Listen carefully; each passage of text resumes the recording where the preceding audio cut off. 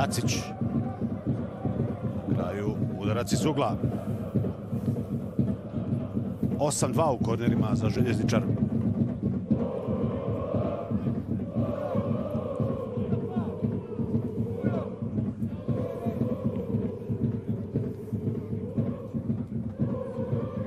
Traje ovo malo duže nego što smo navikli. Evo dolazi Mujezinović sa suprotne strane da izvede ovaj korner. Naravno, pokušava željezničar da troši vrijeme, pa i na ovaj način. Ovdje je već sve jasno. Samo je pitanje kako će se završiti ovaj meč. Da li sa ovih 3-0 ili ćemo vidjeti još neki pogodak. Možda već sada. Mujezinović. Centar šut Mujezinovića. Je faul u napadu. Lopta za zvijezdu. Dosta posla je pred Zilđovićem, dosta posla je pred Zvijezdom 0-9 u borbi za opstanak. Neki su ih već otpisali. Još neki pogodak. Svakako nakon ovog poraza bit će im još teže. Samo jedna pobjeda, 15 poraza, to je mnogo. Mujezinovića, faul u napadu. Eđike, za Zvijezdu. Zadnji loptom igrao je Sinan Ramović.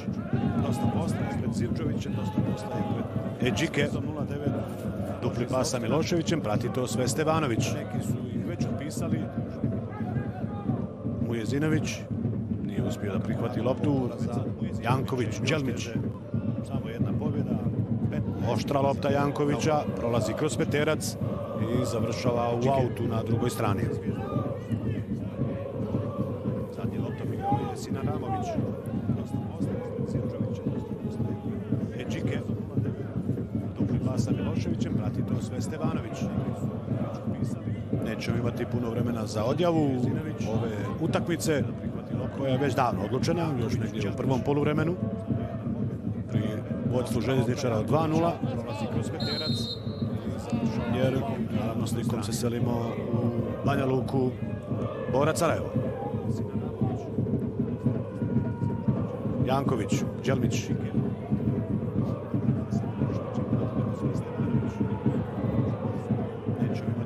Daleko od lopte Milošević. Naravno, Ikić dopušta gol out.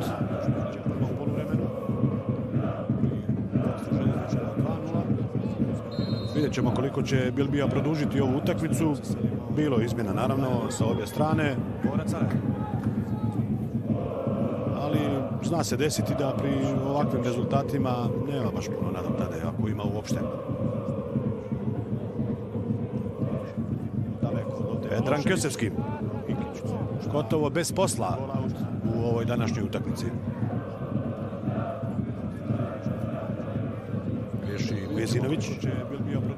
Utakmicu. Kratko Ikić, Karić. Nije tu ništa radio Ramović. Pao je Karić. Sada Ramović pomalo i ljutito, ali ipak sportski izbacuje loptu van granica igrališta. Ja nisam primijetio neki kontakt Karića i Ramovića. Možda neki blagi. Evo da vidimo. Udario je Karić u tijelo Ramovića, tako da faul apsolutno nije bilo. Karić. Nije tu ništa dogovor Bilbije i četvrtog sudije Dragana Petrovića. ali ipak sportski izbacuju loptu. Igraće se još dvije minute. Ja nisam primijetio neki kontakt Karića i Ramovića. Možda neki blagi. Ali Spahić. Bojo, pa Mujezinović. Lijevo je Šehić, Mujezinović u sredinu. Petar Bojo. Povučen je, ovo je slobodan udarac. Slobodan udarac. Paul Karića. Vjerovatno i posljednja prilika za promjenu rezultata u ovoj utakmici. Evo kako se tu oslobodio Bojo. Povučen je sleđa. Dobro je prošao Karić ovdje bez kartona. Nije želio baš onako sad na svaki prekid i svaki faul da vadi karton Luka Bilbija. Ali ovo je dobra prilika da vidimo još jedan pogodak u ovoj utakmici. Namješta loptu Ali Spahić. Tu je i Sadiković. U ovoj utakmici. Evo kako se tu oslobodio Bojo. djeluje Ali Spahić kao najozbiljniji kandidat ovdje bez kartona za ovaj slobodan udarac pet igrača u živom zidu. Pored živog zida tu je i Vojnović. Luka Bilbija. Ali ovo je dobra prilika da vidimo još jedan pogodak u ovoj utakmici. Ostaje Ali Spahić jedini kandidat za ovaj slobodan udarac. Tačno lopta na ovoj kapici, kako to mnogi vole reći. Ali Spahić, dobar šut. Ipak, pored gola, biće korner. Deveti za željezničar.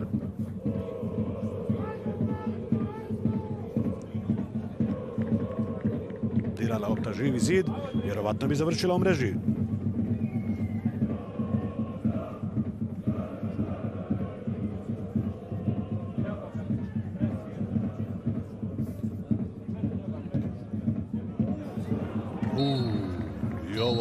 Blizu kraj.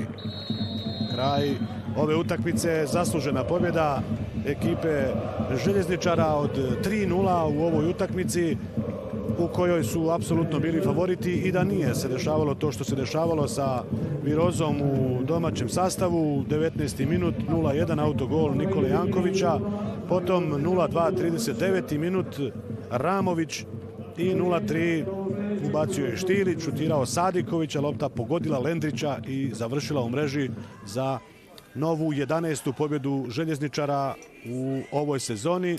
Rekoh 10-0 gol razlika za željezničar u međusobna tri posljednja duela sa ekipom Zvijezde. Ne vidim da li dole kolega ima Edin Moharemagić sagovornike, pa žurimo da čujemo utiske iz oba tabora. Hvala, Almir Memić, trener futbolskog kluba Željezničar. Evo, rekao bi, rutinski ste odradili posao u Gliviku i nastavlja se borba za titulu. Pa jeste, fair, korektna utakmica. Mi smo ušli uzbiljno u ovu utakmicu, stvorili smo sigurno jedno 6-7 prilika čisti, dali smo tri gola i zadovoljni smo.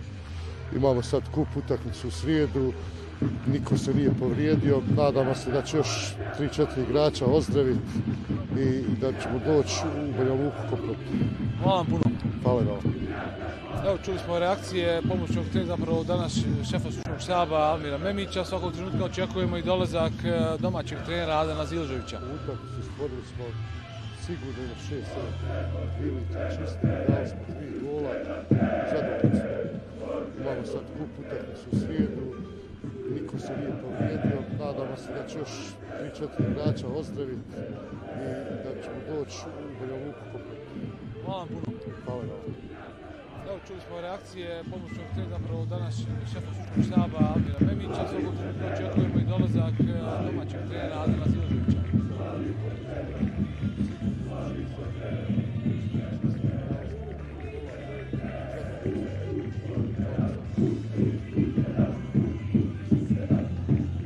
Trener Zvijezde, gospodine Zilžović, evo i više se dešavalo pri utakmici loših stvari po vaš tim, pa nije se moglo možda ni očekivati neka, neke bolji rezultat. Pa dobro, ja momci koji su nas istrčali na teren, vidjeli smo kako smo istrčali, nemam, zaista nemam šta očitati, jel? Borili su se koliko su mogli u ovom trenutku, imali smo tu par debitanata koji su napravili dva treninga iz tima sama, koji su dobro se pokazali danas. Žao mi je da neka od naših šansi ovaj, da nije ušla u gol. Mislim da smo zaslužili bar danas jedan gol izbijanje i sa crte i pored stative. Možda jedna diskutabilna situacija tamo 16 metara, a željezničar znamo koliko kvalitete ima da svaku našu grešku je realno kaznio i potpuno, potpuno zaslužena pobjeda željezničara. Nemam zamjerke. Hvala vam puno na komentaru. Hvala vama. Evo čuli smo šta kaže i domaći trener Zvijezde, s nama u društvu je i po opštoj ocjeni najbolji igrač današnjeg susreta Sinan Ramović, čestitke za pobjedu, za vaš pogodak, evo da čujemo generalno jednu ocjenu za na, vaš nastup i vaše ekipe. Hvala puno, što se tiče utakmice, mislim da smo odigrali jako dobro borbenu utakmicu, postigli pogodke na, na, na, na vrijeme i okrenuli utakmicu u našu stranu. Nastavak slijedi kup pa prvenstvo? E, tako je, teška utakmica u kupu u srijedu, idemo se pripremati i pokušati proći dalje. Hvala vam puno. Hvala. Evo poštovani gledalci, ovo su bili završni riječi Ramovića, toliko sa terena stadiona u Ugljeviku. Hvala lijepo, Edine, tebi i tvojim sagovornicima. Kraj je ovo našeg prenosa. Žurimo slikom u Banja Luku. Od mene toliko. Hvala na pažnji, veliki pozdrav iz Ugljevika.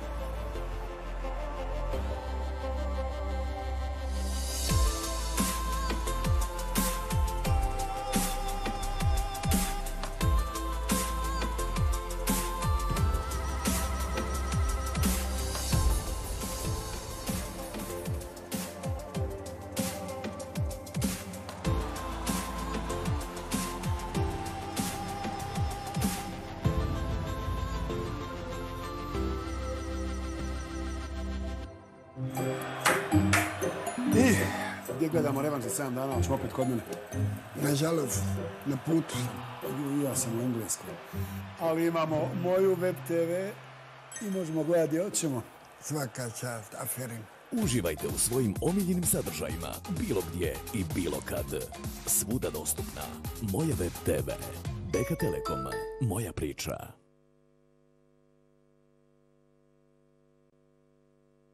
Ovo je bila odlična utakmica. Ali promaši mi ona prije sedam dana kad su igrali. Yep. Mm, samo se udobno zavali, nikakav problem. Ide tekma.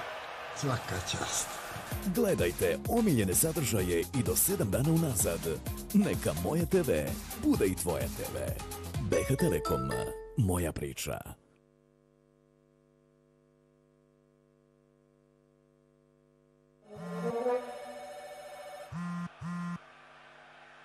Birani pretplatnik je trenutno nedostupan. Čekam Leskinac u Redovaru.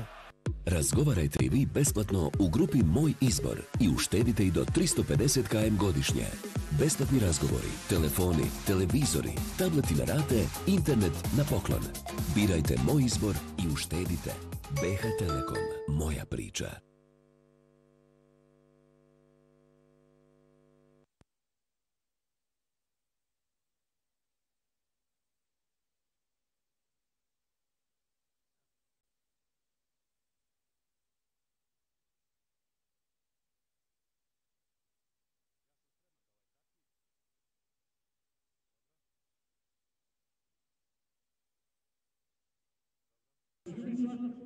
Futbaleri željezničara ostvarili su 11. pobjedu u ovoj sezoni na gostovanju u Ugljeviku. Zasluženo su savladali ekipu Zvijezde 09 desetkovanu virusima i povredama. Loše po domaće počelo je već u 19. minuti kada je... Sa gradskog stadiona pred nama je veliki derbi 21. kola BH Telekom premijer Lige Bosne i Hercegovine 69. međusobni duel borca iz Sarajeva, duel dvije momčadi koje gaje šampionske ambicije, duel dvije ekipe koje se nakon 20 odigranih kola nalaze pri samom vrhu tabele. Bordo tim i aktuelni prvak je ovo 21. kolo dočekao kao lider ekipa borca na trećem mjestu sa tri boda manje u odnosu na ekipu sa Koševa. Ovo je četvrta utakmica 21. kola BH Telekom Premier Lige, dva meča odigrana danas, jedan jučer, pratili ste na platformi Moje TV, vjerujem, susret iz Ugljevika, Željezničar je slavio sa 3-0, Mladost Doboj Kakan, Široki brijeg 2-3, dakle još jedna gostujuća pobjeda, kolo je otvoreno jučer, Tuzla City Velež igrali 0-0. Zrinski Sloboda će svoju utakmicu početi u 17 sati i 30 minuta, a ovo 21. kolo bit će zaključeno sutra na Bilinom polju u Zenici, gdje će na suprotnim stranama biti ekipe Čelika i Radnika. Ubjedljivim triumfom u Ugljeviku Željezničar je u ovom trenutku preuzeo lidersku poziciju. Plavi sa Grbavice imaju jednak broj bodova kao Sarajevo, s tim što Sarajevo naravno ima ovu utakmicu. Manje, borac je na trećem mjestu Tuzla City sa bodom osvojenim. Jučer je četvrta, Zrinski peti, Zrinski ima tu utakmicu. Manje, široki breg se probio na šesto mjesto, možete vidjeti poredak od sedmog do dvanestog mjesta. Pred nama dakle veliki derbi ovog 21. kola. Sarajevo i Borac u onom prvom proljetnom kolu odigrali zaista sjajne utakmice. Oni mečevi na Pecari i na Koševu ocijenjeni su kao zaista najbolji u onom prošlom kolu. Borac je igrao 2-2, iako je vodio 2-0 na Pecari protiv Širokog brijega. Na drugoj strani Sarajevo je napunilo mrežu Tuzla Citya, završilo je 6-2, iako je Bordo tim imao zaostatak od 1-0 nakon nekih 40 minuta te utakmice. Rekao sam, ovo je 69. međusobni duel ove dvije ekipe. Sarajevo mnogo uspješnije, 32 pobjede, 19 nerješenih rezultata i 17 pobjeda ekipe borca, ali situacija u Banja Luci je nešto drugačija. Sarajevo je pobjedilo sedam puta na gradskom stadionu, 14 pobjeda ima borac uz 12 nerješenih rezultata, ali tradicija u posljednje vrijeme, u posljednjem desetljeću, možemo slobodno reći, je na strani Sarajeva, s obzirom da je borac posljednji put Sarajevo pobjedio na ovom stadionu još u sezoni 2011-12. Vidjet ćemo šta će donijeti ovaj derbi susret, svakako zanimljiv je po novom treneru futbalskog kluba Sarajevo, Vinku Marinoviću. Znate da je on na onim svojim početcima bio i šef stručnog štaba futbalskog kluba Borac, jedno vrijeme bio pomoćnik Vladi Jagodiću na kormilu Banja Lučkog kluba, onda samostalno vodio ovu momčad nakon što je otišao u Zrinski sa kojim je osvojio i titulu prvaka Bosne i Hercegovine. Evo, voljom žreba Vinko Marinović svoj prvi gostujući susret kao prvi trener futbalskog kluba Sarajevo ima upravo u Banja Luci gdje je svoje vremeno dosta uspješno vodio futbalski klub Borac. Tribine gradskog stadiona se lagano pune, neka slobodna procjena kaže da evo već sada ima možda 4 do 5000 ljudi oko stadiona je zaista velika gužva i ovo, ovo će vjerovatno biti ubjedljivo najposjećeniji meč ovog 21. kola u ostalom i treba i mora biti tako. Sarajevo je aktuelni prvak, Sarajevo je mamac, Sarajevo je odlično otvorilo ovaj drugi dio sezone. Borac u ovoj povratničkoj sezoni u BH Telekom Premier Ligu ima zaista velike ambicije, možda onako početak nije obećavao, ali imali su Banja Lučani u onom drugom dijelu jesenjeg dijela jednu zaista sjajnu seriju dobrih rezultata. Došli su do samoga vrha i evo ih sada u borbi za naslov prvaka. Lučić, Volkov, Kajku Danilović, Ćosić, Milutinović, Mirić, Vranješ, Janičić, Marin Galić i Goran Zakarić, 11 nogometaša Branislava Krunića. Nema Marka Jovanovića, nema Siniše Dujakovića. Oni su dobili žute kartone u onom prošlom kolu na Pecari, Volkovi, Marin Galić će ih mijenjati. Možete vidjeti, tu je Krunić napravio određene rokade. Ćosić će igrati na poziciji štopera umjesto Jovanovića. Volkov bi trebao pokrivati tu bekovsku poziciju. Marin Galić, novo lice u redovima futbalskog kluba Borac, dobio je priliku igrati na poziciji desnog počnog. Definitivno veliki, ogroman hendikep, pre svega izostanak izuzetno kvalitetnog i iskusnog Marka Jovanovića. On je ključni čovjek odbrane ekipe borca u ovoj sezoni, jedan od najboljih nogometaša, svakako uz Stojana Vranješa. Vladimir Bjelica je glavni arbitar ove utakmice, Novalić i Tešanović su njegovi pomoćnici, a s obzirom da se radi o derbiju imamo i one dodatne suce iza gola, tako da će ovu utakmicu promatrati šest sudija i nadam se da ih nećemo mnogo spominjati. Tu su na centru sa kapitenima, evo i sastava Sarajeva, Kovačević, Hođić, Ahmetović, Rahmanović, Miličević, Salčin, Jukić, Šerbečić, Sušić, Tatar i Mirko Oremuš. Napravio je određene promjene Vinko Marinović u odnosu na onu prvu utakmicu. Ono što prvo pada u oko je Tino Sven Sušić koji će upisati svoj prvi nastup od prve minute. Oremuš je odradio suspenziju zbog kartona. Miličević je prekomandovan u zadnju liniju. Dupovac je preselio na klupu. Amir Dupovac ima problema sa virozom, nije potpuno spreman i Vinko Marinović nije želio ništa rizikovati. Dakle, to su te promjene u odnosu na ono prošlo kolo. Nema Dupovca, nema Gavrića. Od prve minute igraju Mirko Oremuš koji je propustio taj prošli meč zbog žutih kartona i Tino Sven Sušić koji će upisati prve minute od početka jedne utakmice. Znate naravno da je igrao protiv Tuzla Citya onih desetak minuta uspio se upisati u listu strelaca u svom debiju na Koševu, pogodio iz 11 terca. Očekujemo prvi zvižduk Vladimira Bjelice, veliki derbi 21. kola BH Telekom Premier Lige Bosne i Hercegovine. Sarajevo će krenuti sa centra na gradskom stadionu u Banja Luci šta možemo očekivati? Mislim, dobar nogomet. Evo nas na kraju drugog mjeseca, ali danas u Banja Luci, onako rekao bih pravi proljetni dan. Temperatura je tamo negdje prije sad dva bila oko 15 stepeni Celzijusa teren s obzirom da smo još uvijek u drugom mjesecu u zaista dobrom stanju i mislim da će nogometaši jedne i druge momčade imati zaista odlične uslove da nam prikažu jednu kvalitetnu utakmicu, vjerujem utakmicu sa dosta pogodaka, u ostalom tako su počeli ovaj drugi dio sezone, osam pogodaka postignuto na Koševu, četiri pogodka postignuta na Pecariju. Prošlom kolu, a akteri tih duela bili su upravo boraci Sarajevo. Tino Sven Sušić dobiva ovaj duel na centru igrališta, ali kaže Bjelica da je to prekršaj. Neće se složiti nogometaši borca sa ovom odlukom, to je Saša Kajkut. Ima borac to zaista veliko, sjajno iskustvo. Mladen Lučić na golu, Vranješ na sredini terena, Kajkut u vrhu napada, ali ono što Banja Lučanima nedostaje je definitivno Marko Jovanović. To je taj kvalitet borca praktično u svakoj liniji imaju jednog izuzetno iskusnog, ali ne samo iskusnog, nego i kvalitetnog nogometaša. Eto, u ovom susretu neće biti Marka Jovanovića. Ove prve minute, ili bolje rečeno prve sekunde, evo nas otprilike na 90 odigranih sekundi, pokazuju da se Sarajevo na gradski stadion u Banja Luku nije došlo braniti, izašli su visoko, očigledno žele napraviti pritisak na zadnju liniju domaće momčadi. Đani Salčin junior Sarajeva sada tu pod pritiskom gubi loptu. Bila su pored njega dvojca nogometaša u crvenim dresovima, ali griješe i Banja Lučani, pogriješio je Danilović, evo Rahmanovića.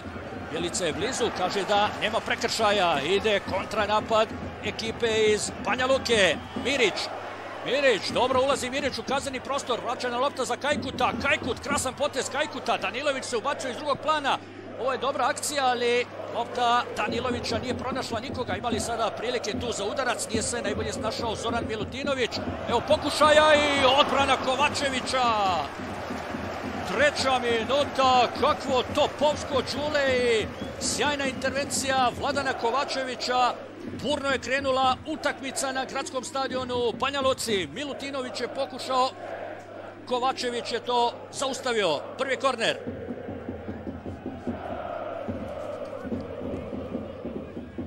Zoran Milutinović bio strelac u onoj prošloj utakmici na Pecari. Tada je pogodio za vodstvo svoje ekipe od 2-0, ali Banja Lučani nisu izdržali protiv širokog brega. Vladan Kovačević, inače rođeni Banja Lučanin. Ovo je ona situacija od malo prije. Duel dvije desetke. Rahmanović je završio na travi. Evo Vranješa. Vranješ pokušava uz pomoć bloka, to hvata Vladan Kovačević, dobar pritisak borca, imali su dva pokušaja, evo, Čanija Salčina, on je, spominjali smo to već po vokaciji, igrač sredine terena, ali stavio ga je Vinko Marinović na poziciju lijevog beka i u onom prošlom kolu odradio je zaista odlično posao, evo sada Sušića, Rahmanović, otvara se Tatar na drugu stranu, Rahmanović, lopta prema Tataru, gdje će to završiti van granica igrališta, ništa od kornera. Ili slobodan udarac, kaže Bjelica. Pustio je prednost, pa je onda pokazao da će to biti slobodan udarac za gostujuću ekipu. Evo Branislava Krunića, nekada sjajni nogometaš, reprezentativac Bosne i Hercegovine. Igrao svoje vremeno za ekipu borca, ovo je taj prekršaj koji je definitivno postojao. Mogli ste vidjeti, dobra odluka Bjelice, pustio je da vidi gdje će završiti ova lopta i onda je odlučio prekinuti Slobodan udarac za ekipu Sarajeva, prilika za Stina Svena Sušića. Peta minuta, odličan ritam na samom početku meča na gradskom stadionu u Banja Luci. Tu je i Tatar, ali ima odličnu ljevicu Tino Sven Sušić. Ne treba trošiti riječi, naravno dosta smo govorili o igračkoj karijeri ovog momka koji je odigrao devet utakmica za reprezentaciju Bosne i Hercegovine, bio i na svjetskom prvenstvu u Brazilu. Brojan živi zid postavio je Mladen Lučić. Pet igrača je tu. Ako prebaci zid, moglo bi biti vrlo opasno po super iskusnog bivšeg čuvara mreže radnika iz Bijeljine. Sušić, sjajna intervencija i dalje opasno s mreže. Odličan udarac Sušića, ali Čovjek koji ima preko 300 mečeva u BH Telekom Premier Ligi. Nije se da uznenaditi, nije gađao preko, nego pored zida Tino Sven Sušić. Vidjeli ste taj korak Mladena Lučića i on je, vjerujem, očekivao da će Sušić pokušati preko zida, ali uspio se na vrijeme vratiti. Na kraju nije bilo opasnosti. Onaj pokušaj, ako sam dobro vidio, Šerpečića završio je u spoljnom dijelu mreže. Hođić. Ne može lopta do Ahmetovića postigao hat-trick u prošlom kolu, došao do samog vrha liste strelaca sa 13 pogodaka. Vranješ ima 12. Samo pet igrača je postiglo dvocifren broj pogodaka u dosadašnjem dijelu sezone. Krpić, Ubi, Paripi, Brandao su tu. Ubi, Paripi iz Tuzle, Brandao iz Veleža, naravno. Krpić više ne igra BH Telekom Premier ligu. Evo Vinka Marinovića, nekada vrsni nogometaš, dosta dugo nosio i dres Crvene zvezde sa velikim uspjehom, inače rođen u Gradišci. Lopta na drugu stranu. Bi mogla biti nova opasnost za Vladana Kovačevića. Rahmanović na vrijeme. Franješ.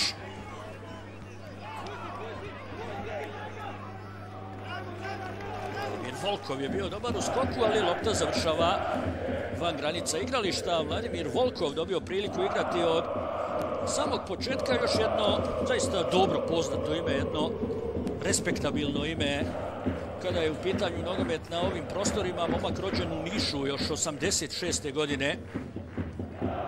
Igrao u Portugalu, igrao u Poljskoj, igrao u Moldavi, igrao u Belgiji, igrao na Kipru, ali nekako ga najviše pamtimo iz onog vremena kada je nosio dres Beogradskog partizana. Miličević. Oremuš. Aut je za gostujuću ekipu. Miličević, Sušić i Jukić. Trojica su Novajlija u ekipi Sarajeva koji su starteri. Zinedin Muste Danagić je jedini ostao na klupi. Sada pogrešno ubačena lopta iz auta, pa će priliku dobiti ili je izašla tamo na drugoj strani već, tako da će priliku dobiti domaći.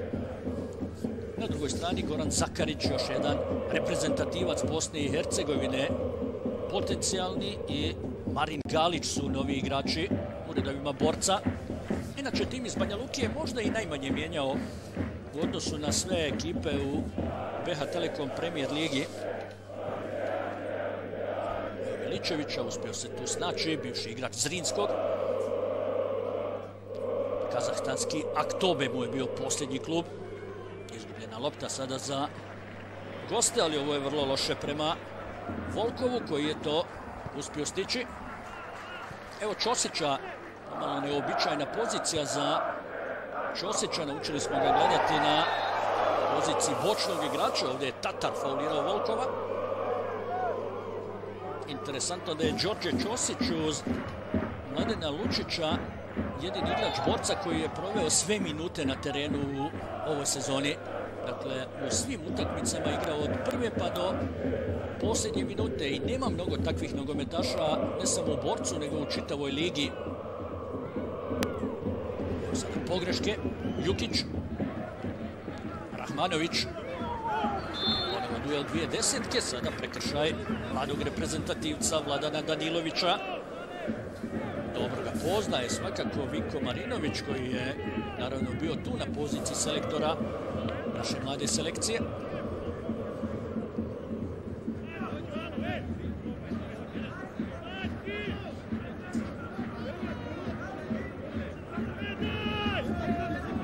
Dino Sven Sušić pored lopte. Svi igrači borca su se vratili nazad. Minuta je deseta. Ide to u ruke Adena Lučića. Njegov otac Sead, naravno, veliko nogometno ime, ostavio dubok trag u Crvenoj zvezdi, a njegov stric ili Amidža, kako vam je draže, naravno legenda futbolskog kluba Sarajevo, legenda BH nogometa, ja mogu slobodno reći legenda evropskog nogometa, naravno popularni pape Safet Sušić. Oremuš. Oremuš i Sušić kombinuju ono što je zanimljivo tamo još 2013. godine Oremuš i Sušić su bili sa igrači i to u redovima Splitskog Hajduka. Evo sada dobre prilike, ide to pored gola, nije bilo bloka, bit će gol out. Izgubljena lopta Sušića na sredini terena, ali nisu to kaznili Banja Lučani. Mirić je ovdje imao dobru situaciju, ali nije se najbolje snašao. Pas u pravom trenutku, nije bilo nedozvoljene pozicije. Salčin je stigao to pokreti, opasnosti nije bilo. I slačionicu Sarajeva je zahvatila jedna lagana viroza, tako da je dosta problema, recimo između ostalih imao i Vladan Kovačević, ali ipak je on tu na golu gostujuće ekipe. Sada Ahmetović, nema offside pozicija. Ahmetović, šta će biti na drugu stranu? Tatar nije najbolje prihvatio loptu. Tatar se poigrava i izblokiran pokušaj Tatara. Velika prilika za goste. Tatar je možda malo oklijevao, dobio je tamo neki udarac. Ločić, Ahmetović je želio biti nesebičan. Gledamo još jednom ovu situaciju. Čini se da je bila linija offside nije bilo krenuo Lučić i pogledajte, malo je lopta ipak išla iza leđa. Zanadati se da se ne radi o nekoj povredi Mladena Lučića. Ovdje je imao sudar sa Mersudinom Ahmetovićem. Ovdje se Tatar možda malo želio previše zabaviti na kraju je dao dovoljno vremena i prostora nogometašima borca da uđu u bloka. Evo pokazuje Ahmetović da je tu došlo do sudara. Žali se i kapiten Sarajeva na ozljedu koja se desila u ovom sudaru sa golmanom tima iz Banja Luke. Iskusni Mladen Lučić, naravno, ako i površno pratite premijer ligu Bosne i Hercegovine, znate za Lučića preko 300 utakmica ima u domaćem prvenstvu. Igrao za Slaviju, Olimpik, za Radnik iz Bijeljine. Igrao za Borac prvi put još tamo prije 8-9 godina je bio u Banja Luci, pa kasnije u sezoni 13-14 i onda se prošlog ljeta ponovo vratio u redove tima iz Banja Luke. Mislim da će biti sve u redu, jedan sudar sa Ahmetovićem, ali nastavit će utakmicu iskusni Mladen Lučića. Mogli ste vidjeti da, evo tek sada u 13. minutu su stigli autobusi sa navijačima Sarajeva. Ona tribina za gostujuće navijače je još uvijek prazna po najavama ovdje oko 150 do 200 gostujućih tifoza se očekuje.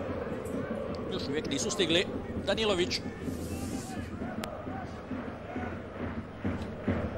Volkov. Bježi Tataru. Dobra prilika i bit će korner.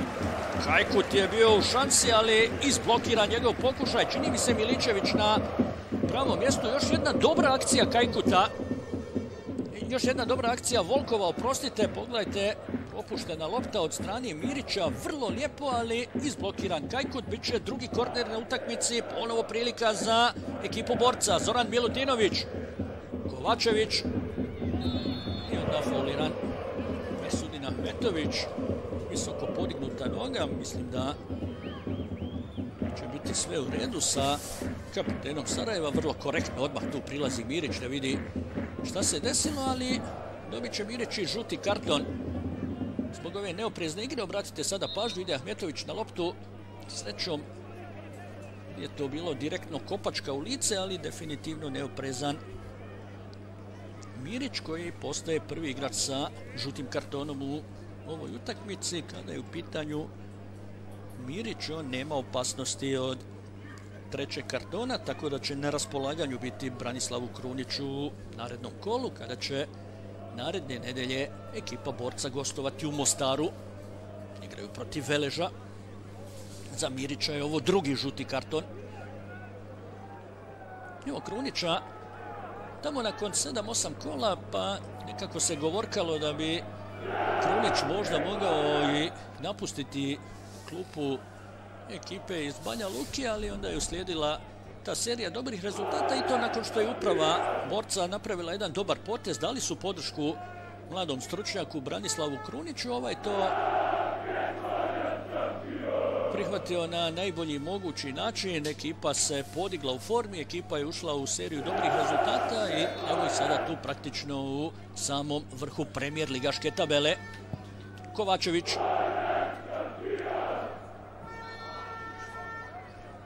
prekršaj napravio Oremuš. 2013. kao što rekao Tino Sven Sušić i Mirko Oremuš dijelili slačionicu na poljudu, bili su sa igrači u Hajduku. Evo ih sada zajedno na Koševu.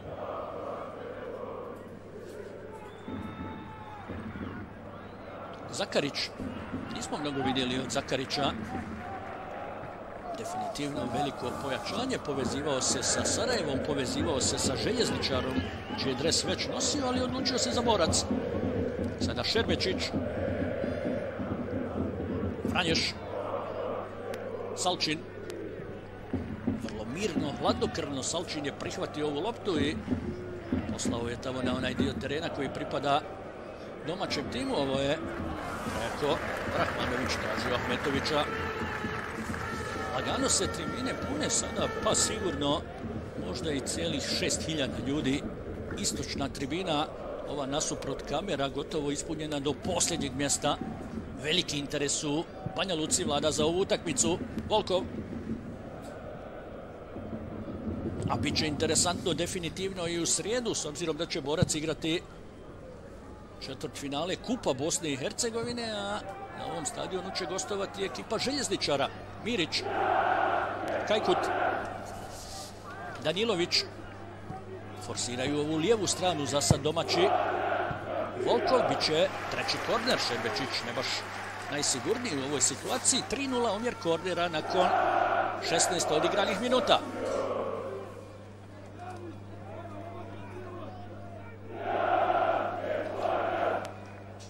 Bacit će ponovo Zoran Milutinović. Svi igrači Sarajeva su se vratili nazad u svoj kazani prostor. Nešto je svirao tu Bjelica. Ovo je Janičić. On se ubacio iz drugog plana. Još jednom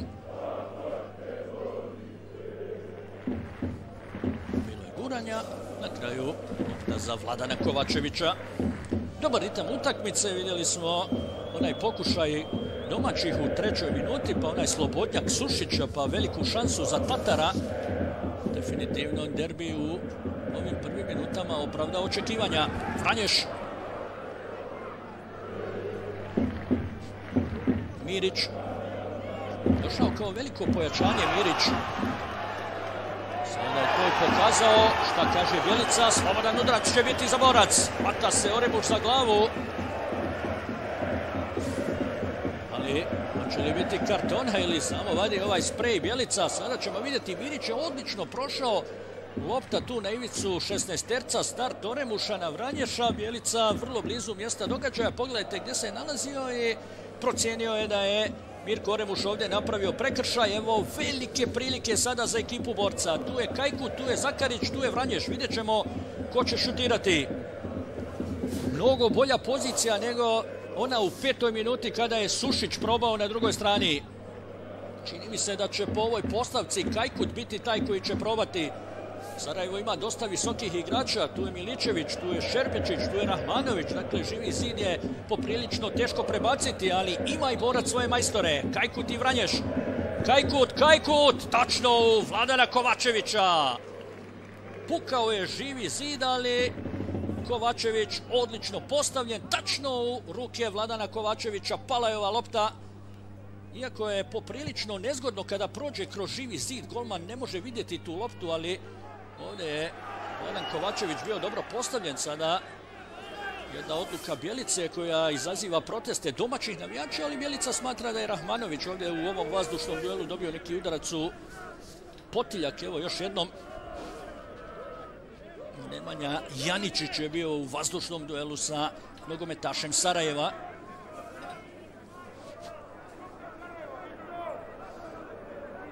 Sa dosta discipline igraju i jedni i drugi. Evo sada možemo vidjeti svi igrači borca su iza lopte. Hođić, Tatar. Koji je igrao posljednji. Nema u Sarajevu naravno Hebibovića i Pidre zbog povreda. Zanimljivo da recimo Gavrić i Milanović nisu našli svoje mjesto čak ni na klupi. Sušić izblokira njegov pokušaj. Ponovo Sušić. Dobra lopta prema Tataru. Tatar gađa. Kakva odbrana je to bila. Fenomenalni Mladen Lučić. Kakva intervencija Lučića. Sjajno dodavanje Sušića. Sada pokušava tu između tri igrača napraviti nešto više, ali nije uspio Rahmanović. Ostao je ležati. Ali prilike za protudar. Nema Hođić. Gubi loptu vrlo borbeni Tino Sven Sušić. Evo sada Vladana Danilovića osvaja dosta terena, ali prejak pas ide to u ruke Vladana Kovačevića. Puni se lagano ona tribina za gostujuće navijače. Tek sada ulaze. Vjerovatno je pretres u toku. Obratite pažnju sada na ovaj zaista fenomenalan pas Tina Svena Sušića. Tatar je šutirao pa možda i najbolje iz ove pozicije, ali Mladen Lučić ponovo na visini zadatka. Raspoloženi zasadi Kovačević na jednoj i Lučić na drugoj strani. Oremuš. Šerbečić. Zašao je borac sada visoko.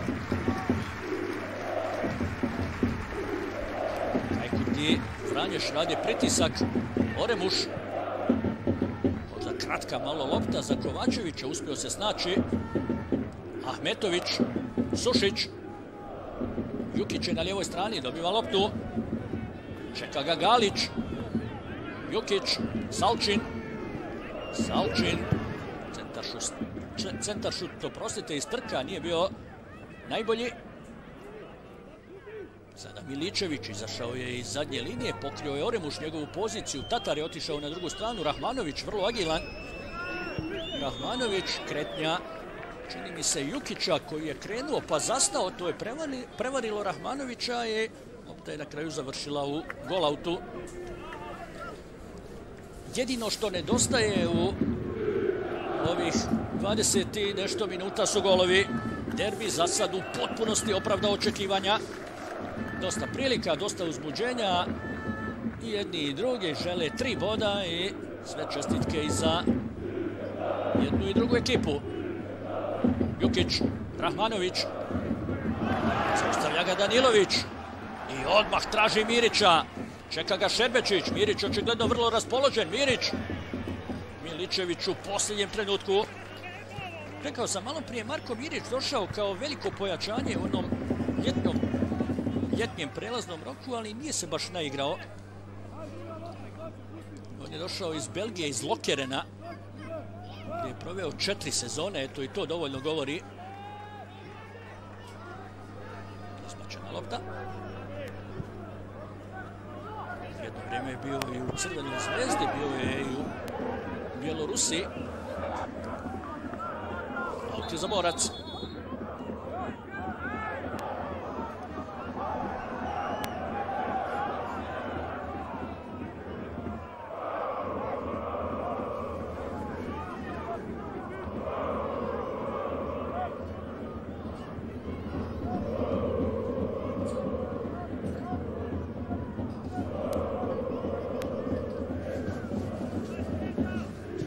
Janičić, Ćosić, Volkov.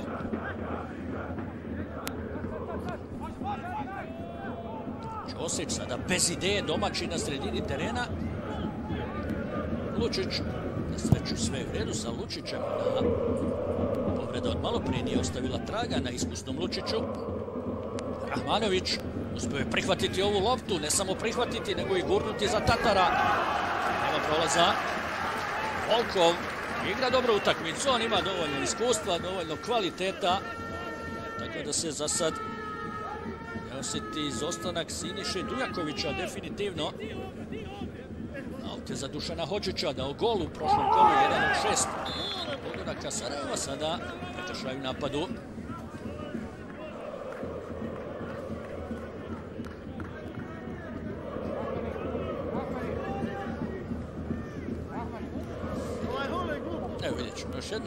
Situaciju.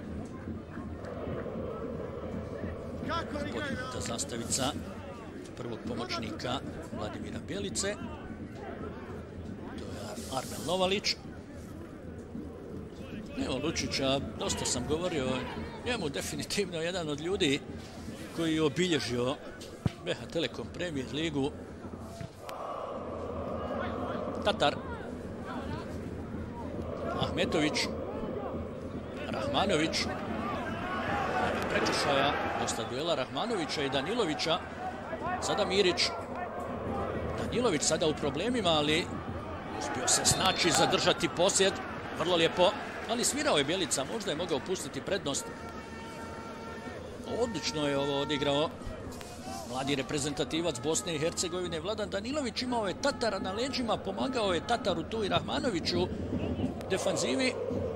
Ovo je jedna bespotrebno duga lopta, rekao bih domaćih.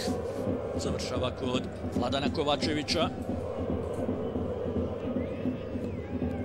U svom rodnom gradu brani danas Vladan Kovačević. Šerbečić.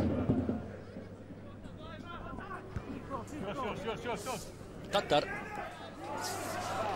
Se Tatar, nema tu prekršaja sada.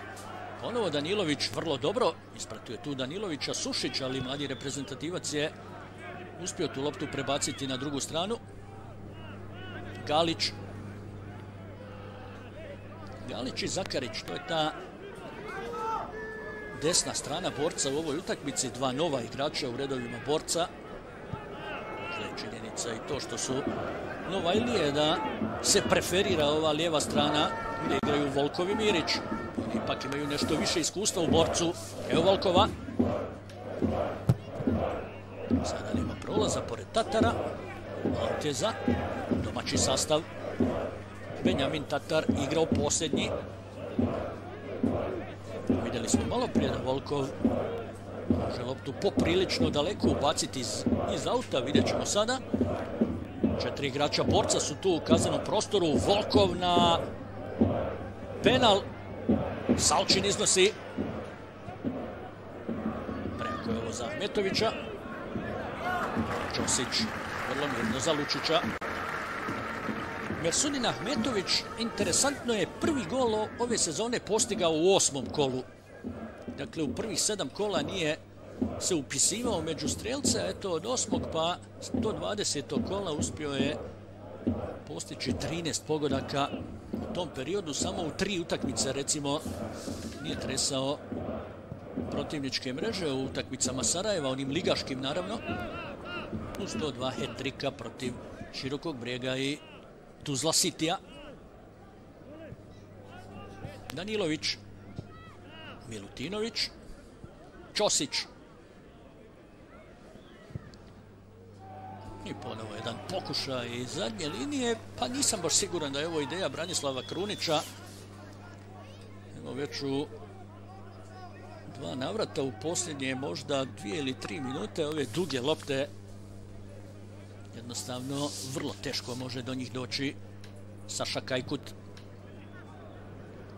Dobro igra borac, tako vrlo često Saša Kajkut se izvlači i otvara tu prostor Stojanu Vranješu. To smo već naučili kada je u pitanju igra borca.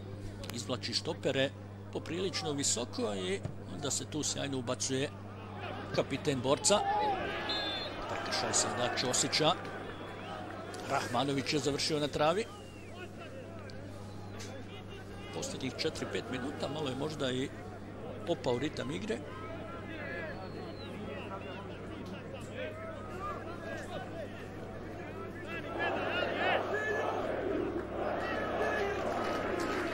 Tino Sven Sušić, po pravilu svi igrači borca su u svom kaznenom prostoru kada su prekidi u pitanju, pa nije isključeno da Sušić možda pokuša i direktno, ali vidjet ćemo centar šut na drugu stranu preko daleko od Rahmanovića. Pomislio sam možda direktan pokušaj s obzirom da je samo jedan igrač bio u živom zidu i to Stojan Vranješ, ali tražio je tamo Rahmanovića na drugoj strani. Tino Sven Sušić nije ga pronašao.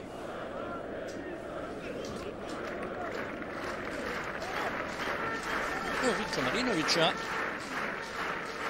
definitivno pod velikim pritiskom čovjek koji je ostavio posao u mladoj reprezentaciji Bosne i Hercegovine da bi preuzeo Sarajevo. I to Sarajevo koje brani titulu prvaka Bosne i Hercegovine. Evo Zahmetovića. Jednostavno na taj način je preuzeo i rizik Vinko Marinović s obzirom da ekipa koja brani naravno naslov prvaka ima samo jedan cilj, a to je naslov ostaviti u vitrinama svog kluba. Prekršaj Oramuša teško je čuvati Stojana Vranješa.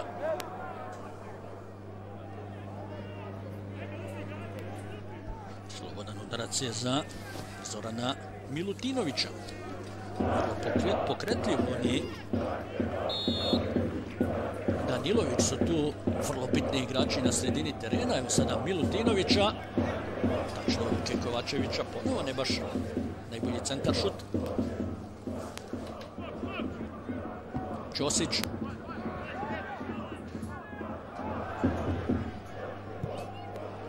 Ide ovo preko tribina. Mesim Šerpečić nije želio ništa rizikovati.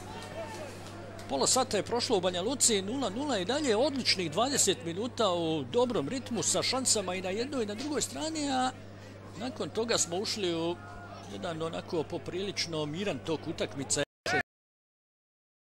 Razmišlja o tome da se ne napravi neka pogreška. Sada je Hođić tu izbacio loptu ispred Franješa i na dijelu ćemo ponovo vidjeti Vladimira Volkova. Obratite pažnju na njegovo ubacivanje iz auta. Borčev, Rori Delap. Sada ipak kratko za Danilovića. Rahmanović se vratio. Danilović, ovo može biti opasno. Danilović, Danilović pada.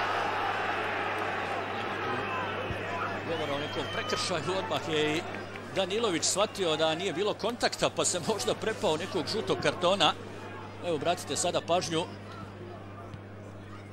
Evo, odmah je ustao. I sada Kajkut u dobroj poziciji, slabo šutira. Ostaje 0-0. Saša Kajkut također jedno veliko, ogromno iskustvo. Traži pomoć Mladen Lučić na drugoj strani. Da li je onaj sudar sa Ahmetovićem ipak ostavio nekog traga? Legao je samo Lučić na teren i traži pomoć fizioterapeuta za nadati se da će biti sve u redu, a kao što rekao, Saša Kajkut je na početku sezone, tamo u augustu, septembru prošle godine je bio drugi izbor Branislava Krunića. Srđan Vujaklija je došao kao veliko pojačanje, on je trebao biti taj centralni špic, taj napadač, ali Saša Kajkut se izborio za svoje mjesto, istisnuo, tako da kaže, Vujakliju koji je sada rezervista, a zanimljivo da je Kajkut još 2005. godine, tada samo sa 19 godina bio u borcu, prošao je i školu ove ekipe, nakon toga promijenio veliki broj klubova, ali nekoliko puta se vraćao u redove borca. Umeđu vremenu igrao za Čelik, za Krupu, za Zrinski, za Željezničar. Igrao u Hrvatskoj, Moldaviji, Azerbejdžanu, Grčkoj, bio i u Hong Kongu, zanimljivo. I to dovoljno kakvu sjajnu karijeru ima Saša Kajkut. Sve u redu sa Lučićem, to je najbitnije.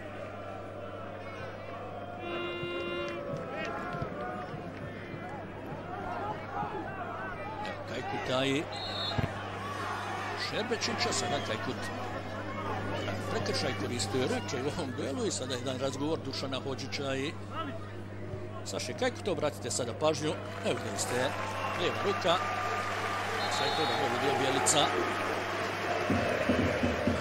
Slobodan udarac je za Pesima Šerpečića.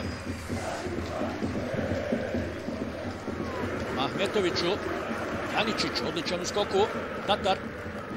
Tatar uz dosta sreće, ostaje u posjedu lopte, Tatar. Rahmanović.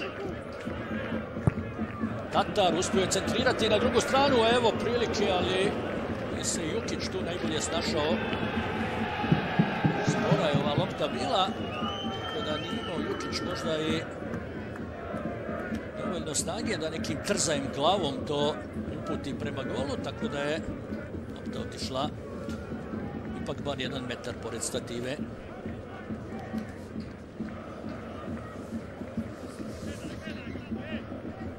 Deset minuta do kraja prvog poluvremena. Porac nula, Sarajevo nula. Ćosić, dobro se snašao Ćosić na ovoj poziciji štopera. Nije lako zamijeniti Marka Jovanovića, definitivno. To je jedan zaista sjajan igra. Sada greška Šerbečića. Kajkut, vratio se tu Hođić. Prekršaja. Mirić. Na drugu stranu. Pokušao Galić od prve, ali tu je Salčin.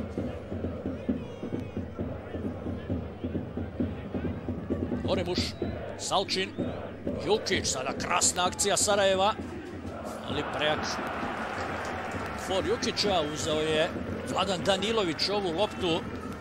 Danilović možda i prvo ime utakmice dobio je većinu duela na sredini terena, zaista sjajna partija za ovog mladog reprezentativca Bosne i Hercegovine. Janičić na kraju to vraća za Mladena Lučića. Evo ponovo Danilovića, nekoliko puta je ovdje kada su gosti sa loptom došli na nekih 30-40 metara od gola borca bio zaista izuzetno lucidan, miran, dobro postavljen, prekinuo je te akcije i onemogućio goste da naprave neku preveliku štetu za Mladena Lučića. Sušić, Miličević,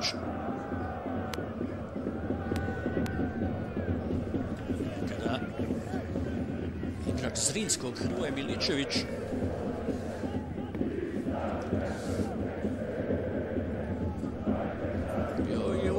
Italiji jedno vrijeme igrao za Teramo i za Peskaru. Iz Zrinskog otišao još 2014. u Peskaru i nekoliko sezona proveo u italijanskoj seriji B, pa onda odlazak u Kazahstan u Aktobe. Sada je na Koševu.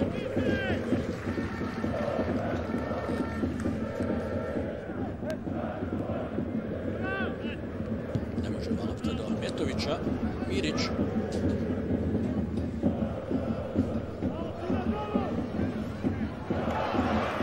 Volkov. Volkov dalje Volkov. Sve je sam uradio Volkov. Kakav skok nebeski Stojana Vranješa. Kako je samo poletio nebom Stojan Vranješ, ali ipak je ta lopta bila previsoka. Sjajan prodor. Je to bio Volkova, probio je sa loptom sigurno nekih 40-50 metara, uspio centrirati i obratite pažnju. Salčin je čekao ovdje, ali kako je samo skočio Stojan Vranješ. Sjajan skok, da je lopta bila malo niža, moglo je to biti vrlo opasno za Vladana Kovačevića. Vratio je golman Sarajeva, sada loptu u igru. Janičić dobiva vazdušni duel. Evo Danilovića. Mirić. Pogriješio Kajkut. Hođić.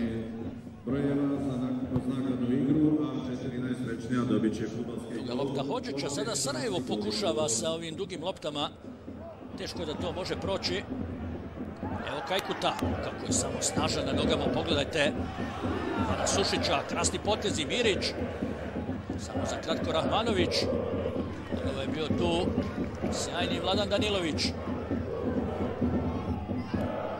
Najviše duela imao sa Amarom Rahmanovićem. Pravi sada prekršaj, Volkov je ostao ležati.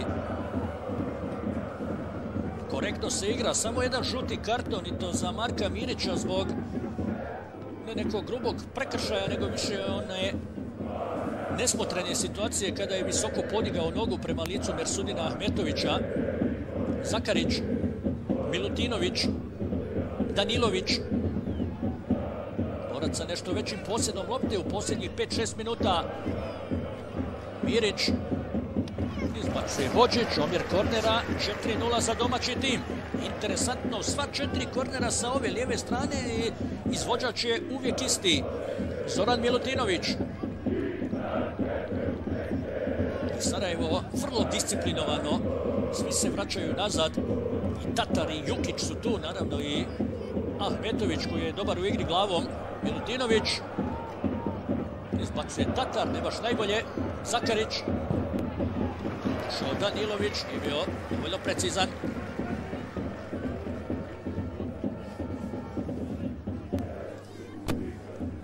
Pet minuta do kraja prvog polovremena. Odličnih 20 minuta, nakon toga ovih drugih 20 onako ne možemo reći uspavanka, ali generalno utakmica sa nešto manje ritma od 20. do 40. minute. Kovačević. Kada su u onom prvom dijelu prvenstva ove dvije ekipe igrale na Koševu, Sarajevo je slavilo sa 1-0 tada. Je 0-0 bilo do 87. minute, onda je pogodio Mersudin Ahmetović. Evo i sada je 0-0. Mirić. Franješ. Miličević uzima ovu loptu. Rahmanović.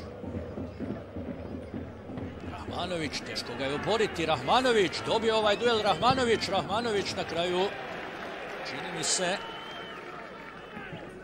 Galić. Galića se sjećamo još iz onog vremena kada je nastupao za ekipu mladosti iz Doboja kod Kaknja.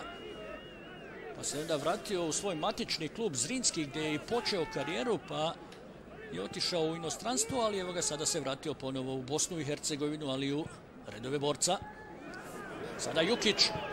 Jukić, Tatar, evo prilike, Tatar, šta će biti? Gol je!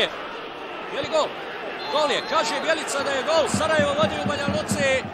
Lučić je ovu loptu imao na ruci, ali prešla je ona gol crtu, vidjelo se to i sa tribina. Benjamin Tatar pogađa za vodstvo od 1-0, šta je sve skinuo Mladen Lučić, sada ima ovu loptu na ruci, ali nekako se ona otkotrljala i završila iza gol linije. Benjamin Tatar 0-1, 42. minuta. Neće se previše radovati Vinko Marinović, naravno on je vodio ekipu borca, ali akcija je bila sjajna od početka. Pogledajte ovaj pas Rahmanovića, pa onda Jukić sjajno i nevjerovatno jeste. Prešla je lopta. Slab udarac Tatara, ali je isto tako slaba intervencija Lučića. Pogledajte, prosto nevjerovatno šta je sve bi sebi dozvolio Mladen Lučić i dobra stvar za ovu utakmicu, recimo što imamo šest sudaca. Moguće je da Bjelica ovo i nije mogao vidjeti, ali definitivno jeste ovaj dodatni sudija iza gola i 0-1. Dakle, kada je utakmica bila u onoj svojoj mirnoj fazi, kada je Borac možda imao i nešto povoljniju, povoljniju situaciju, imali su posjed lopte na svojoj strani, eto ova lijepa akcija gostiju, moramo reći, donosi prvi pogodak na meču i definitivno da ćemo sada na gradskom stadionu u Banja Luci gledati još bolju utakmicu. Rahmanović igra rukom. Dvije minute do kraja prvog polovremena. Bila je ona ozljeda, Lučića, možda jedna minuta sudijske nadoknade. Evo sada Mirića je uspio prihvatiti ovu loptu da jeste, bilo bi to vrlo opasno.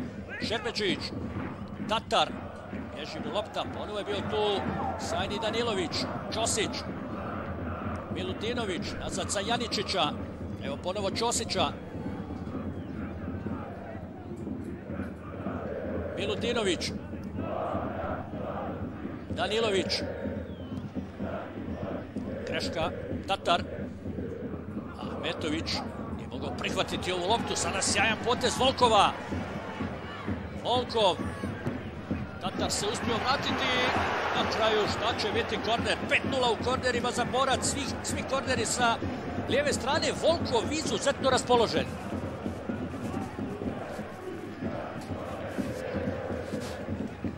Ponovo Milutinović. Može li se Borac ekspresno vratiti? 45. minuta.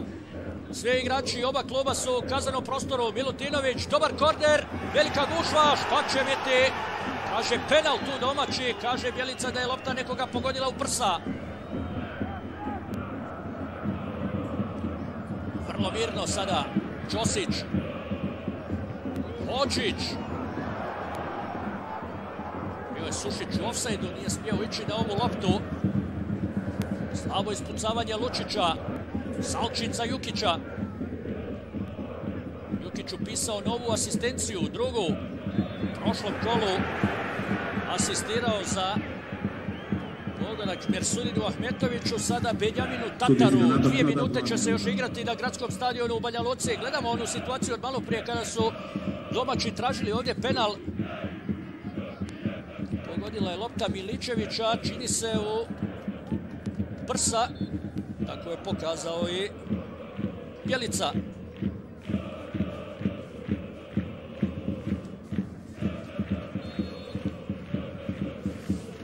Sušić pored lopte. Igra se prva minuta nadoknade. Salčin.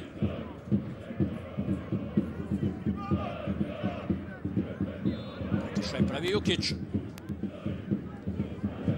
bori sa domaćima, ali imaju još vremena, naravno još minuti 20 sekundi, više nego dovoljno da se organizuje jedan kvalitetan napad. Danilović za Volkova, Ponovo preferiraju domaći tu lijevu stranu. Ćosić, Milutinović. Hoće li se sada prebaciti to na Zakarića? Ne, ponovo ide na lijevu stranu za Mirića. Sušić. Tatar. Ideja Tatara da se pronađe Ahmetovića. Ideja Ćosića da ne rizikuje ništa. Aut je za Borac. Za Volkova. Milutinović. Galić. Zakarić. Oremuš mu je uzeo loptu. Oremuš ubacuje sa Ahmetović. Oremuš. Kao da je išao na prekršaj ovdje Oremuš. Volkov. Milutinović. Kajkut, to je ta situacija kada Kajkut i Vranješ mijenjaju pozicije. Premekano je Rahmanović ušao u ovaj duel. Sada Šerbečić. Izbačena lopta. Tatar. Prihvatio loptu, strelac jedinog pogotka i ovog trenutka Bjelica svira kraj prvog poluvremena, dakle u derbiju 21. kola BH Telekom Premier Lige. Nakon prvog poluvremena Sarajevo protiv Borca vodi sa 1-0. Benjamin Tatar u 42. minuti postigao jedini pogodak. Bilo je dosta uzbuđenja, bilo je prilika i na jednoj i na drugoj strani. Izveo je recimo Borac pet kornera, Sarajevo nije ni jedan, ali Sarajevo imalo možda bolje, kvalitetnije prilike Sarajevo nakon prvog poluvremena vodi sa 1-0. Vrlo brzo ćemo ići na teren do kolege Aleksandra Babića. S njim je neko iz stručnog staba gostujuće ekipe. Aco, izvoli. E, hvala Velide. Evo, e, sa mnom je nakon prvih 45 minuta Danimir Milkanović, pomoćni trener u futbolskom klubu Sarajevo. Na samom kraju došli ste do prednosti e, golom Tatara. Zaista to je ono što ste priželjkivali sigurno. Da li se sada igrači ovih prvih 45 minuta ispunjavaju uglavnom ono što ste tražili?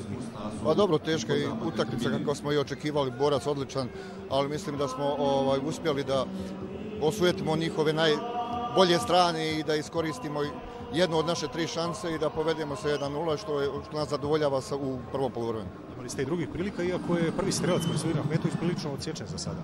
Pa dobro, imali smo dvije prilike, ovaj, nismo dali, dali smo i treće, tako je tu u futbalu. Mislim da igramo dobro, da imamo dosta još prostora za napredak i samo trebamo tako nastaviti da privedemo utakmicu kraju. Hvala i mnogo sreće u nastavu. Čuli smo razmišljanja iz e, stručnog štaba Sarajeva, tu nam se pridružio i Darko Maletić, pomoćni trener futbolskog kluba Borac. Darko, eto jedna neopreznost na kraju, koštala vas je ovog deficita za sada, uprkos ne tako lošoj igri u prvom poluvremenu, e, gdje su igrači griješili u ovih prvih 45 minuta i da li uglavnom ispunjavaju ono što ste tražili od njih za sada, osim eto tog pogodka. Pa dobro, kad sve sabere, mislim da smo ovaj napravili bili pritisak na početku, imali nekoliko izgodnih šansi možda da, da, da postignemo pogodak. Sarajevo isto imao nekoliko prilika, na kraju faktički iz ničega smo primili taj go. Ništa ostaje nam da se saberemo u drugo polovrijeme, da nastavimo opet još jače prema golu Sarajeva i ja sam ubijeđen ovaj, da ćemo isvući pozitivan rezultat. Kakva je situacija sa Lučićem kratko, može li nastaviti? Pa mislim da nije najbolje, sad ćemo vidjeti na polovremenu kakva je situacija, ali pitanje je da li će moći da nastavi. Hvala i mnogo sreće u nastavu. Hvala vam. Eto, toliko za sada. Velide.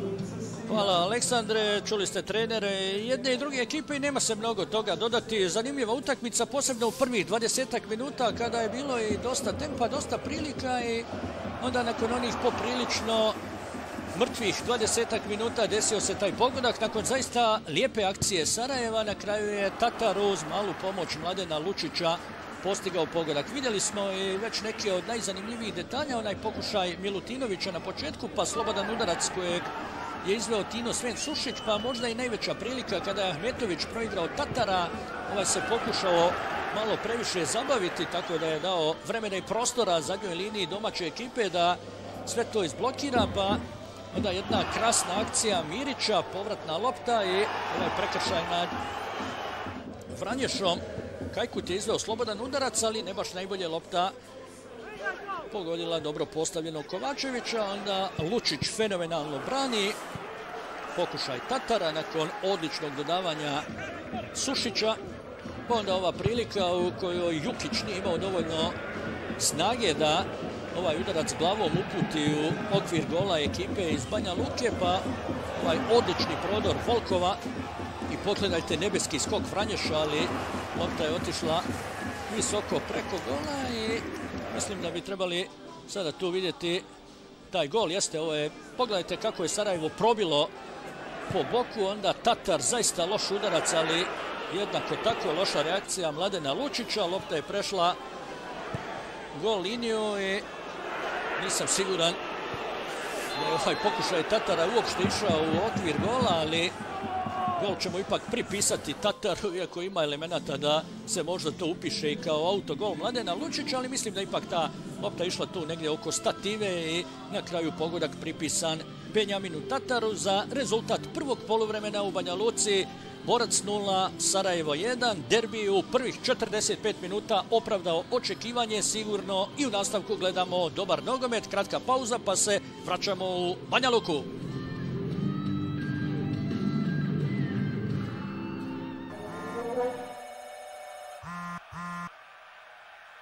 Birani pretplatnik je trenutno nedostupan. Čekam Leskinac to razgovara. Razgovarajte i vi besplatno u grupi Moj izbor i uštedite i do 350 km godišnje. Besplatni razgovori, telefoni, televizori, tableti na rate, internet na poklon. Birajte Moj izbor i uštedite. BH Telekom. Moja priča. E, Ovo je bila odlična tekma. Ali promaši mi ona prije sedam dana kad su igrali... Ne. Mm, Samo se udobno zavali, nikakav problem. Ide tekma. Svaka čast. Gledajte omiljene sadržaje i do 7 dana unazad. Neka Moja TV bude i tvoja TV. BH Telekom. Moja priča. I, gdje gledamo revanš za 7 dana, hoćemo opet kod mene. Nažalost, na putu sam. Ju, i ja sam u Engleskoj.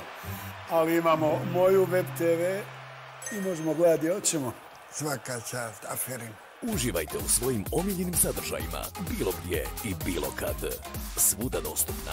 Moja web TV. BH Telekom. Moja priča.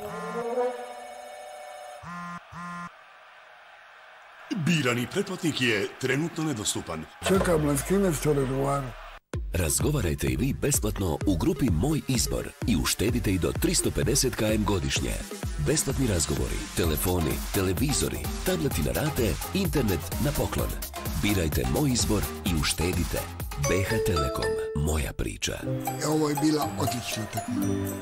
Ali promaši mi ona prije sedam dana kad su igrali... Ne. Mm, Samo se udobno zavali, nikakav problem. Ide tekma. Svaka čast. Gledajte omiljene sadržaje i do 7 dana unazad. Neka Moja TV bude i tvoja TV. BH Telekom. Moja priča.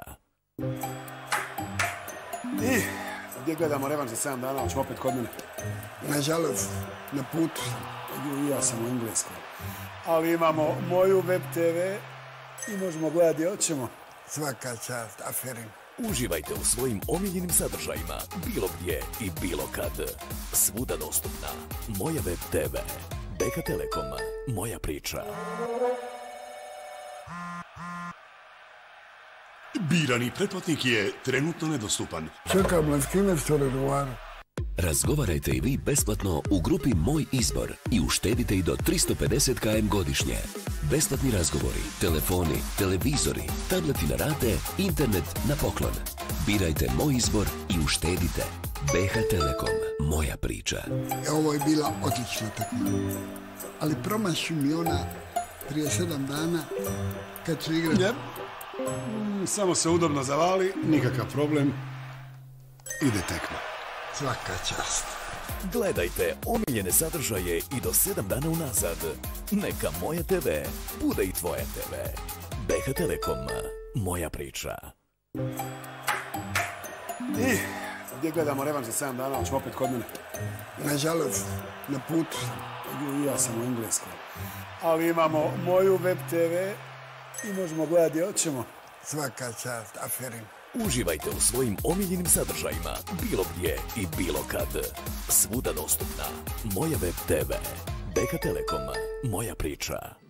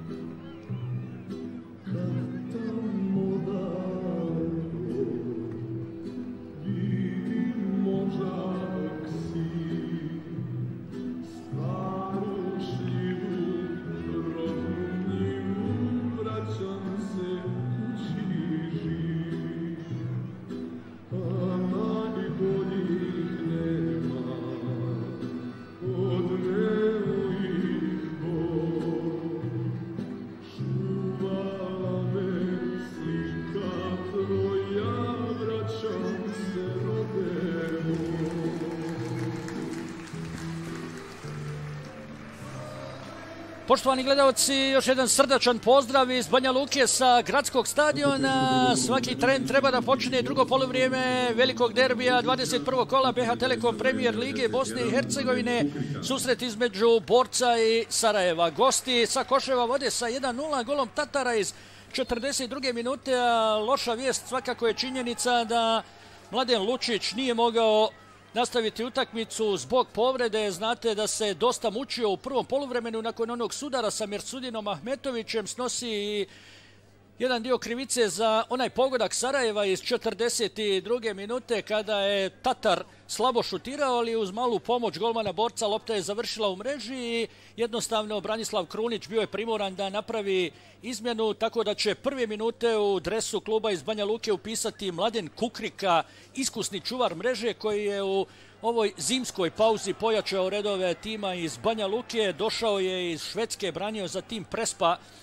Jedno onako za one koji duže pamte poznato lice kada je u pitanju domaće prvenstvo branio svoje vremeno za ekipu Leotara, inače je rodom iz Trebinja.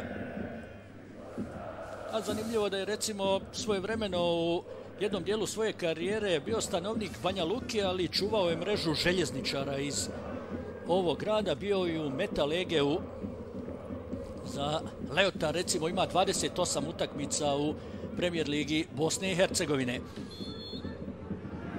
prekinuo je igru Bjelica, iako je mirne duše ovdje mogao pustiti prednost, s obzirom da je Vranješ imao posjed lopte. Vidjet ćemo šta će donijeti drugo vrijeme, prvih 45 minuta onako poprilično zanimljivo, interesantno rekao bih. Vidjeli smo dosta šansi, posebno se dobro igralo u prvih 20 minuta. Sarajevo je na kraju jednu od svojih prilika iskoristilo, Borac je imao također svoje šanse, Borac je imao pet kornera, Sarajevo niti jedan uglavnom ravnopravna utakmica. Evo sada Vranješa, tačno u dobro postavljeno Kovačevića. Dakle, otprilike ravnopravna utakmica, rekao bih, ali eto, gosti su iskoristili jednu svoju šansu i na odmor su otišli sa ovom prednošću od jednog gola, što svakako da je jedan novi tonus ovoj utakmici. Borac sada mora krenuti silovitije prema naprijed, mora tražiti bar jedan bod u ovom velikom derbiju, što bi moglo ostaviti nešto više prostora gostima sa Koševa da eventualno pokušaju doći do drugog pogotka. Nije ništa mijenjao, Vinko Marinović, Krunić samo tu jednu izmjenu i to na golu. Evo Jukića, start nije bio za prekršaj, kaže Bjelica. Pogodila je lopta Bjelicu ovdje, ali nije prekinuo igru. Sada novi duel Jukića i Milutinovića. Rahmanović, Rahmanović, lomi Janičić, ali Janičić dobar u ovom duelu i na kraju je sjajno Janičić to izbacio van granica igrališta. Biće ovdje velike borbe tamo. Čini mi se ostao Bjelica bez onog spreja za postavljanje živog zida. Krenuo je ovamo prema centru, onako trkom. Zapitao sam se šta se dešava, ali vidite ovaj osmijeh na licu, vidite tamo na leđima Bjelice, onaj sprej sa kojim se označava udaljenost živog zida. Korner ili aut, ubacivanje sa strane, ništa od prvog kornera za ekipu Sarajeva i to je interesantno, rekao sam malo prije gosti bez i jednog jedinog ubačaja iz ugla. Evo Đanija Salčina, ponovo starter, ponovo na toj poziciji bočnog igrača. Oremuš na drugu stranu prema Tataru. Stigao je Tatar, ali samo je to loptu uspio izbaciti u aut.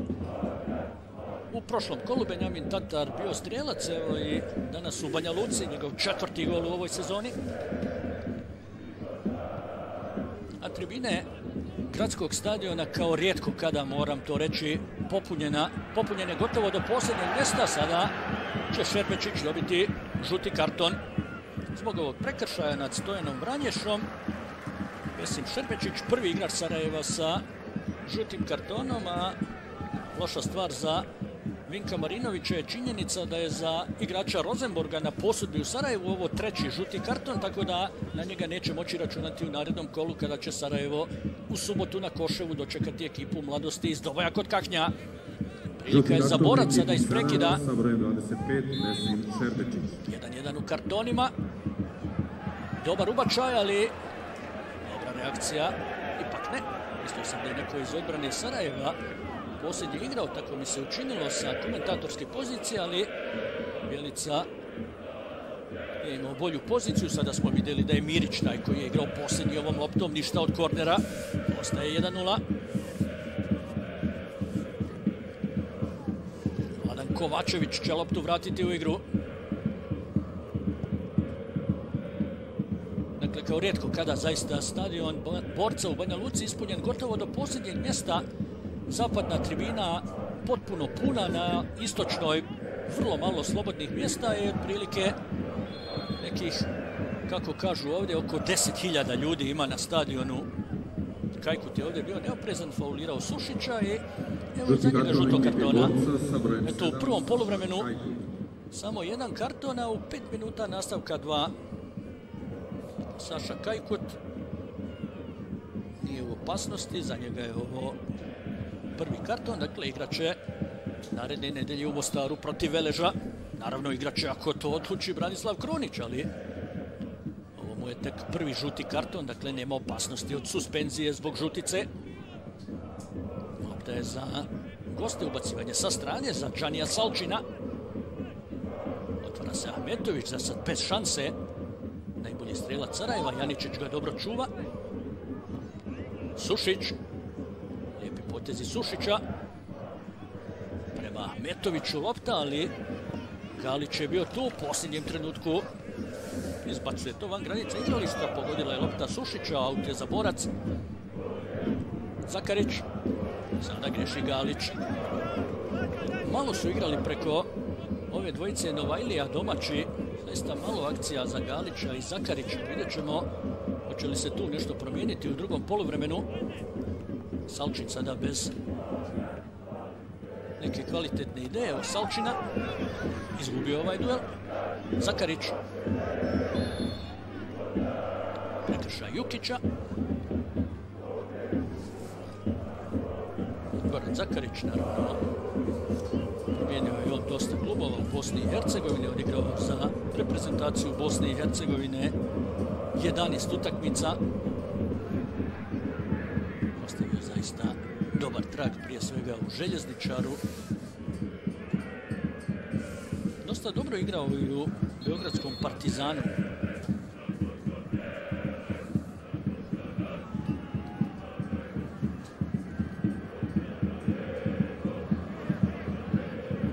A inače, posljednji klub je Rumunska univerzita. Te, a sada se ugasio jedan reflektor na stadionu u Banja Luci. I zbog toga ovaj prekid ovaj kadar to neće prikazati, ali imamo, evo možete vidjeti taj reflektor, ne baš u mraku, ali velika je razlika u vidljivosti. Tamo gol na kojem stoji Kukrika je u mraku i naravno nema neko drugo rješenje Bjelica nego da prekine utakmicu, zanadati se da će se sve to vrlo brzo riješiti, a u međuvremenu je počela i posljednja utakmica današnjeg programa, 21. kola, BH Telekom Premier Lige Bosne i Hercegovine. Zrinski i Sloboda igraju na stadionu pod Bijelim bregom. Nisam siguran da li je ova vatra možda uzrok. Vidite da se zapalila tu ova reklama koja je uz reflektor i nekako upravo u to vrijeme je nestalo energije sa jednog reflektora. Vrlo je moguće da je to razlog. Ako su tu kablovi, onda možemo imati zaista veliki problem. Onda vrlo teško da se to može i brzo riješiti. Ovako mislim da je gotovo nemoguće da se nastavi, ali vidjet ćemo u ostalom dosta posla tu sada i za delegate. Ono što ne možemo vidjeti, ali evo tamo može se primijetiti sa komentatorske pozicije. Mogli ste i to vidjeti, vatrogasci su stigli. Bile su upaljene baklje u prvim minutama drugog poluvremena. Vrlo je moguće da je jedna odletila tamo na onu stranu i ajde da ne pričam ponovo nekada dosadim i sam sebi sa tom pričom o bakljama, o jednostavno 10.000 ljudi je tu, uživamo, igraju prvi i treći, gledamo dobar nogomet, gledamo konačno jednu odličnu BH Telekom Premier ligu sa sjajnom posjetom, efikasnu, sa odličnim igrama i onda dođu tu neke stvari kojima nije mjesto definitivno na stadionima. Evo, vatrogasci kao i uvijek brzi, učinkoviti, ali sada se tu postavlja pitanje kolika je šteta napravljena ovom vatrom.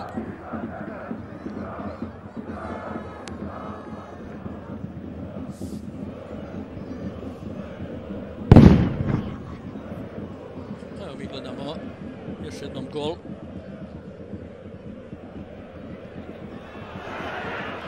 I reakciju povrijeđenog Mladena Lučića i možda je to problem što nije možda klupa borca na vrijeme reagovala nakon one situacije kada je Lučić tražio da mu se ukaže pomoć, dakle, pratim šta se dešava, razgovor četvrtog suca i glavnog Vladimira Bjelice, četvrti je Sabrija Topalović,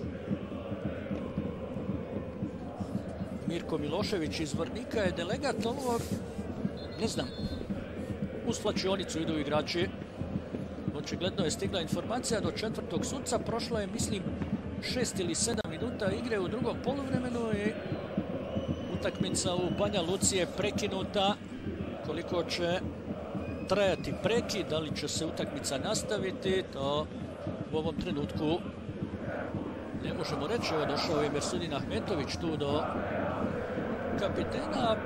Mislim, 15 ili dobro, uvijek ima nekog lufta, 20-ak, 25, pa do pola sata ukoliko se ne osposobi ovaj reflektor. Vjerovatno danas neće biti nastavka i onda će biti zanimljivo vidjeti šta će biti odluka i koja će zapravo biti odluka.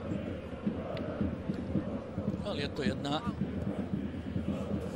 bespotrebna situacija upravo kada sam pričao o tih 10.000 ljudi na stadionu, pa jednostavno to je velika stvar za BH Telekom Premier Ligu. Dosta se o tome pisalo i nakon onog prošlog kola kada je posjeta na svim utakmicama bila zaista vrhunska. Evo, pogledajte kako izgleda istočna tribina gradskog stadiona u Banja Luci. Zapadna izgleda isto popunjena je do posljednjeg mjesta. Ovdje samo ona jedna tampon zona između navijača Sarajeva i domaćih gledalaca. Dakle, dvije tribine potpuno pune tamo. Ona gdje se nalaze najvjerniji navijači borca također poprilično dobro ispunjena, što će reći pa sigurno preko 10.000 ljudi ili bar 10.000 i eto nekako smo se uželjeli domaćeg nogometa jednostavno i nogometaši borca iz Sarajeva su nam priuštili dobrih 45 minuta, ali eto, pa dobro,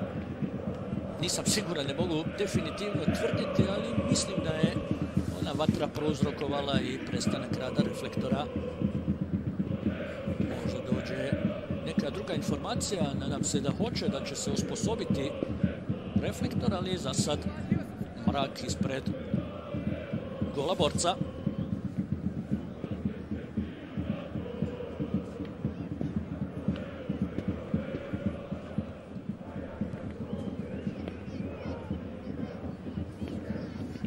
Svi su nogometaši otišli u slačionice, suci također. Komentatorska pozicija na stadionu u Banja Luci se nalazi gore na vrhu zapadne tribine, tako da u ovom trenutku ja ne mogu reći mnogo toga. Dole na terenu je kolega Aleksandar Babić i očekujem vrlo brzo da bi od kolege Babića mogle doći neke informacije.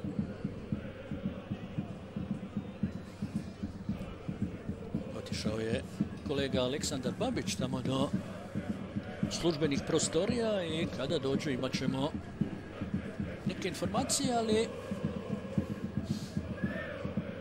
reflektor još uvijek nije u funkciji. Evo možete vidjeti tamo na desnoj strani da je vidljivo sjajna, tamo na drugoj poprilično mračno. Možda prilika da kažem da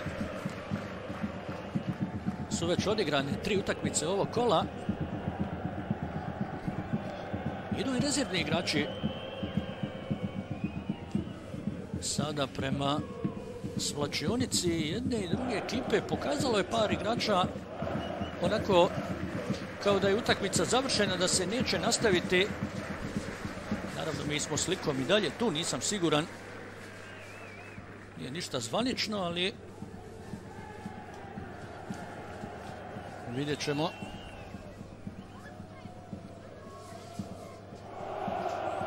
Dakle, danas poslije podne, Zvijezda 0-9, Željezničar 0-3, Mladost Široki brijeg 2-3, jučer Tuzla City Velež 0-0. Zrinski i Sloboda su utakmicu počeli prije nekih 15 minuta.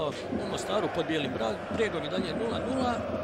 Čelik Radnik sutra zaključuju ovo kolo narednog vikenda. 22. kolo i završava se, tako da kažem, taj prvi krug takmičenja i onda kreće onih dodatnih 11 kola po Bergerovim tablicama, isto kao i prošle sezone i ono što je bitno, ekipa koja završi na prvom mjestu pa nema neke velike benefite, ali recimo dočekuje drugoplasiranu ekipu i to je jedna prednost. Toga je vrlo bitno za ove timove koji se bore tu za te pozicije da zauzmu i onda bi protiv drugoplasirane ekipe bili domaćini u 24. kolu, ali više o tome ćemo govoriti naravno narednog vikenda. Na terenu za sad nema nikoga. Napravljena rezultata je u Mostaru. Zrinski je protiv Slobode poveo među vremenu sa 1-0.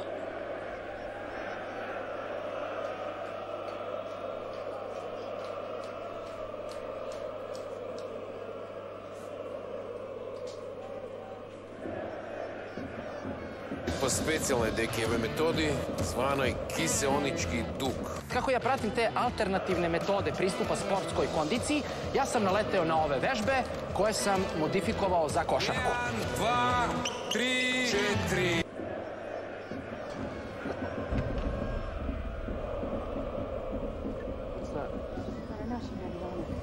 Evo, prve informacije iz prostorija futbalskog kluba Borac. Za sad vruća telefonska linija između čelnih ljudi iz Saveza i delegata ove utakmice. Vidjet ćemo šta će biti odluka. Naravno i Mirko Milošević koji je tu delegat utakmice zajedno prije svega sa Vladimirom Bjelicom mora donijeti konačnu odluku Your hands, Captain. Sam siguran neki nastavak sutra u nekom dnevnom terminu ili potpuno prekid. Borac, rekao sam, na ovom stadionu igra već u srijedu protiv željezničara meč četvrt finala Kupa Bosne i Hercegovine. A, Put the seat behind us. informacije koje it push us along. Do we lay out dobivamo od kolege Aleksandra Babića. Da će vrlo brzo. Izaći suci na čelu sa Vladimirom Bjelicom i Bjelica će provjeriti da li se može nastaviti igrati sa tri reflektora. Ovako ovaj kadar koji vidite pokazuje definitivno da može, ali velika je razlika kada ste tu na stadionu i tamo je poprilično mračno ispred onog reflektora i ne znam, ne bih da se petljam u posao sudaca, nekako bi za sve najbolje bilo da se utakmica nastavi, da se odigra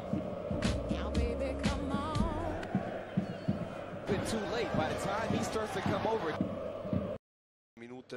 dvije strane terena. Štih iz Zagore Bojsa i Luka Terzić iz Disko kluba sa... Ne želim tvrditi definitivno, što ali je- mislim da su one baklje ponovo. jednom potencijalno zanimljivom igraču, može?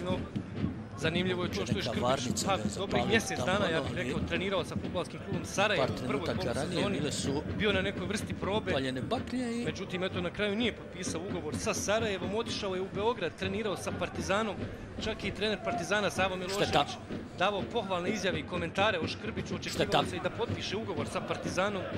Ni to se nije desilo i eto na kraju završio u atmosfera na tribinama lijepa, konkurencija 10.000 Petru ljudi.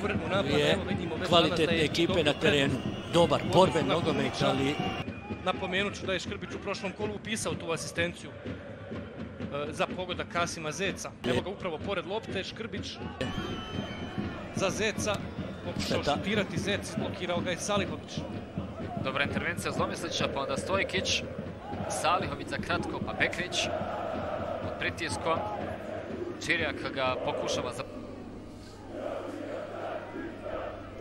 Stožer prazni. Joj daj, molim te, pa jučer smo prošli kroz to, nemoj sad opet ponovo. Za Adana Salihovića. Išla lopta na desnu stranu za Maksimovića. Izgubljena lopta na sredini terena, Bilbija ne žuri mu se, vratit će loptu nazad. S obzirom na, da nije bila baš idealna situacija za razvoj kontranapada, premalo futbolera u bijelim dresovima u tranziciji. Jakovljević, lopta završila u autu, nije to stigao Tičinović. Moramo biti spremni na najgore. Slobodi. Aut izvodi Beganović, kapiten tima. On je jedan eh, od onih futbalera koji su takozvani eksponati u ekipi. Slobode izuzetno interesantan mlad futbaler. Po vokaciji inače desni bek. Odigrao jako dobru prvu polusezonu. Postao interesantan i onim eh, timovima vodećim timovima Premier Lige Bosne i Hercegovine, no na kraju nije došlo do realizacije transfera. Jednostavno, Sloboda ga nije željela pustiti. Minuta pred golom Zrinskog. Čini mi se pogotovo ta njihova lijeva strana da je e, nedovoljno aktivna. Sada opasna igra Muljagića, visoko podignuta noga prema licu e, Barbarića. A što je da se diže kad ima koda krampa za njega? Sloboda je jedna od dvije ekipe ove sezone u Premier Ligi Bosne i Hercegovine koja nema pobjedu e, na gostujućim utakmicama. Zvijezda 09 je naravno jedna od njih. Zvijezda ima svih 10 poraza u 10 utakmica, a Sloboda u 10 utakmica ima četiri izbore na remija i šest. Ne znam ti nija šta već čega. Meni suci izlaze. Franješ, Ahmetović i Bjelica. Molimo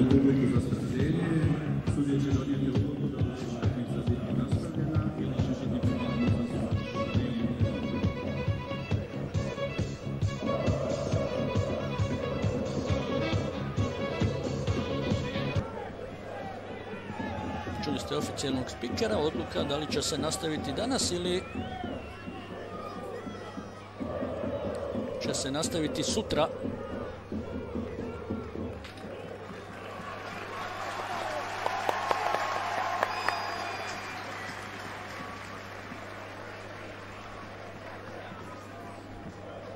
Sad šta su dogovorili, ne znam. Franjo Šahmetović i Bjelica su bili tu.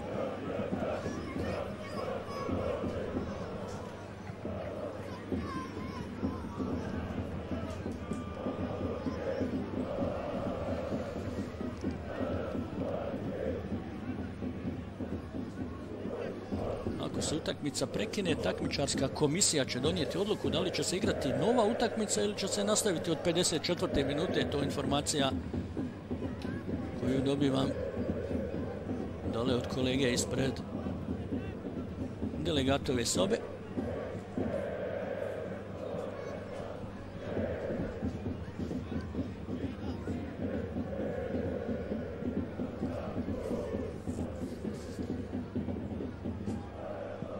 Još jedno obavještenje za publiku, utakmica će biti uskoro. Utakmica će biti nastavljena, čini mi se. Dobro, Utakmica će biti uskoro nastavljena. to je odluka. Biće malo neobično, ali dobro.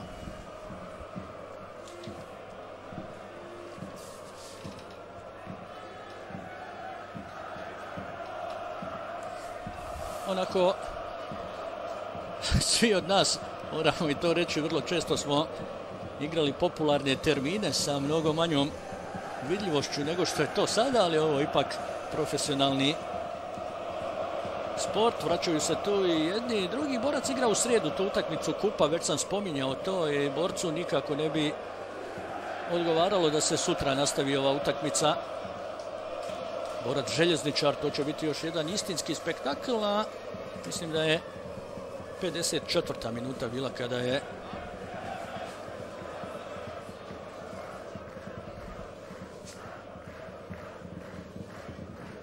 Evo i od kolege Babića koji je bio dole, kaže zvanično informacija od sudca Bjelice. Utakmica se nastavlja od 54. minute, a novi gol je u Mostaru. Zrinski protiv Slobode vodi sa 2-0.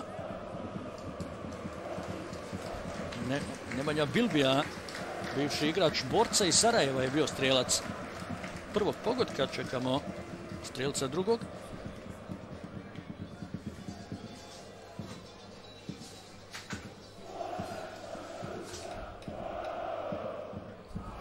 Na semaforu na stadionu stoji 71. minuta, što znači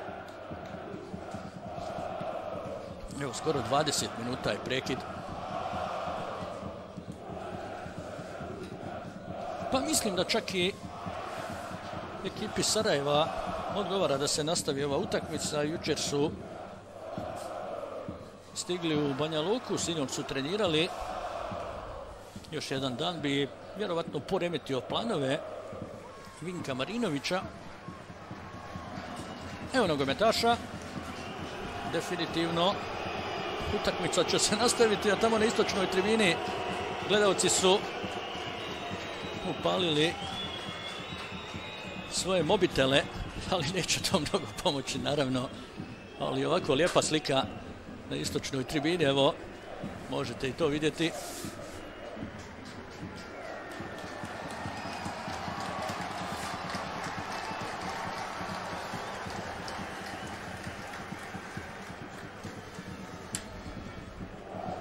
Rijetka slika.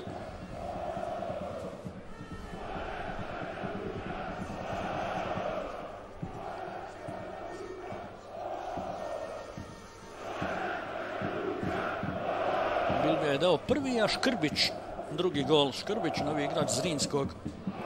Dakle, u svom debiju pred domaćom publikom se upisao među strelce.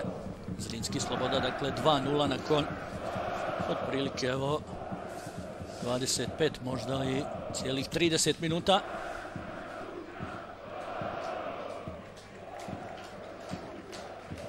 Nije lako ni igračima. Sada bili su u slačionici pa skoro 20 minuta. Odigrali su 7-8 minuta onog drugog polovremena i evo sada tu razgovor ponovo kapitena. Ja se ne mogu sjetiti ko je imao posjed lopte definitivno. Ali dobro, to nije neki problem. Hoće li se bacati Novčić? Dvije, tri lopte su tu sada na terenu. Dobro, neki igrači se pokušavaju zagrijati na taj način, naravno.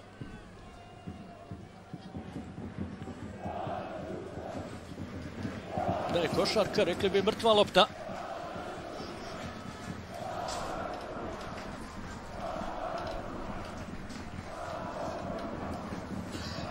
Mislim da kreće od 54. minute.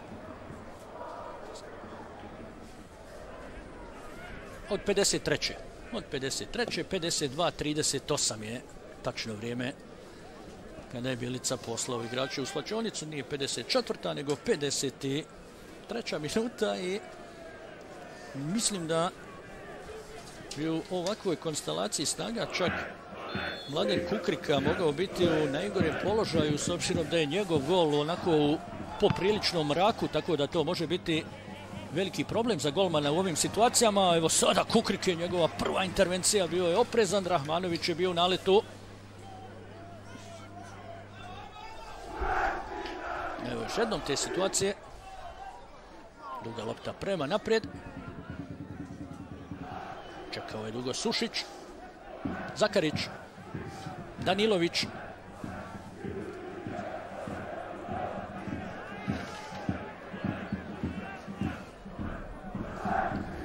Vraćeno nazad za Milutinovića. Sarajevo sada onako poprilično defanzivno stoji.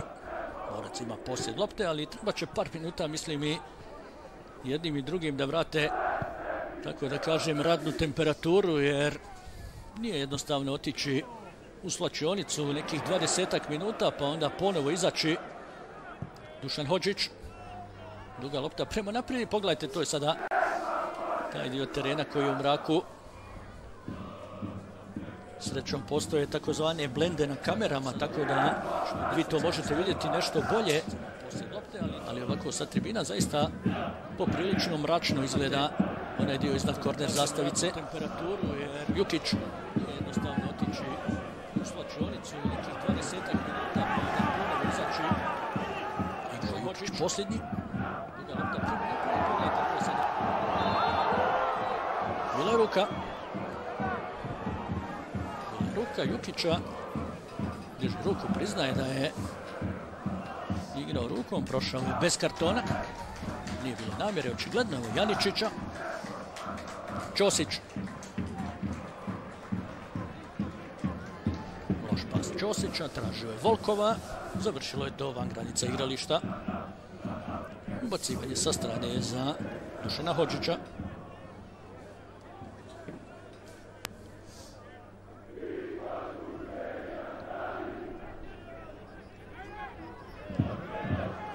Sada možda prilike. Ovo može biti opasno i na kraju samo prvi korner. Nije brzina ipak neka prevelika odlika Sušića. Izborio je sada ipak prvi korner za Sarajevo i to u 56. minuti utakmice. Galić se uspio vratiti. Galić je jedan zanimljiv igrač. Naravno, koji, svi vi koji pratite domaće prvenstvo, sjećate ga se još i iz mladosti i iz Rinskog igrač koji podjednako dobro može odigrati na lijevom i na desnom beku.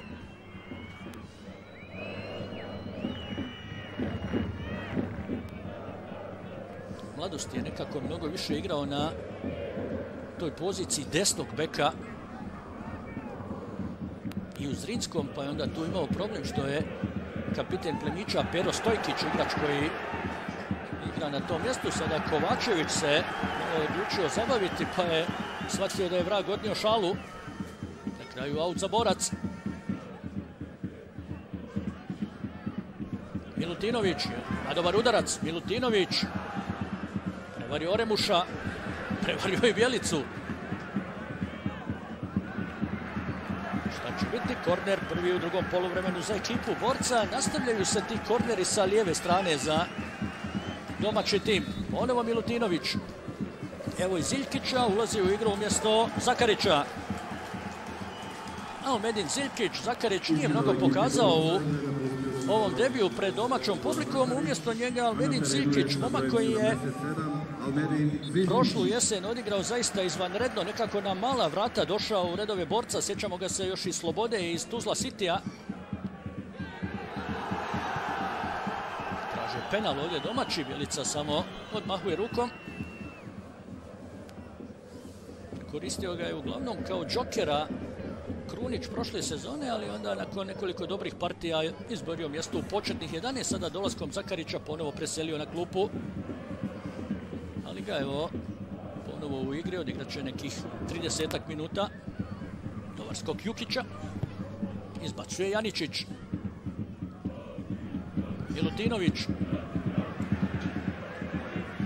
Ziljkić Hođić bliži lopti nogometa Sarajeva. Tamo ima balon koji pravi malu zabunu. Evo je situacija malo prije. Vazdušni duel nakon kojeg je čini mi se igrač borca tu igrao rukom.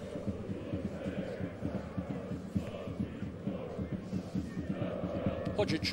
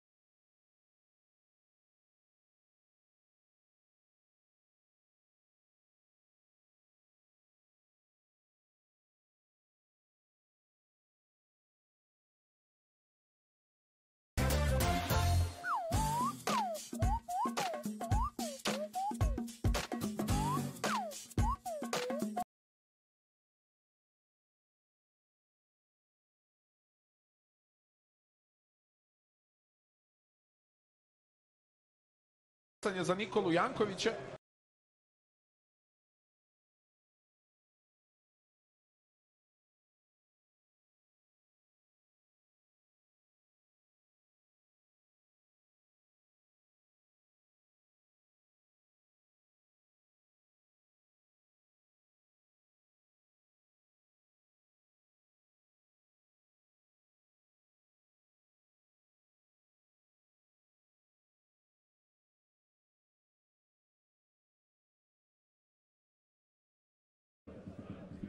Izgubio živce mladi Danilović u ovoj situaciji, ali evo, sve se završilo ipak mirno, samo sa žutim kartonom za Danilovića. Sada Tatar. Pokušaj Tatara. I dalje opasno. Šta će biti? Šta kaže Bjelica? Traže penal tu domaći. Traže penal gosti, ali Bjelica pokazuje da će biti korner. Kakav slobodan udarac je to bio.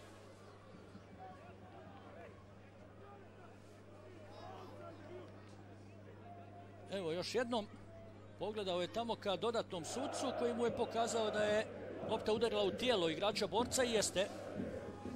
U pravu su bili suci. Dobra procjena, bit će korner za ekipu Sarajeva. Na prvu stativu, najbolje.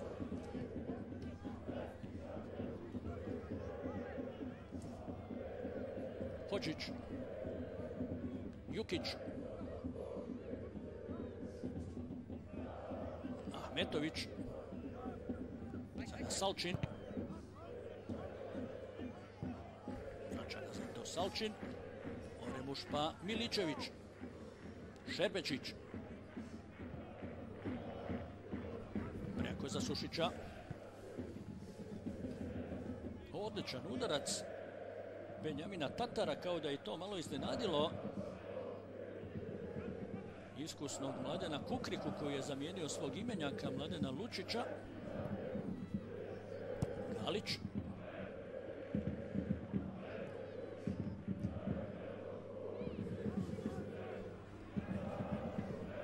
Ja sam malo prije napravio jedan lapsus Galić, naravno i u ovoj utakmici na desnom beku može odigrati i desno i lijevo.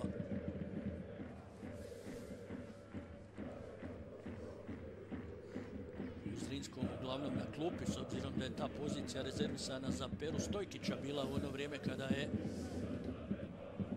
on igrao za tim iz Mostara. Evo Ziljkića, njegova prva akcija. Malo je pretjerao. Danilović uzima ovu loptu.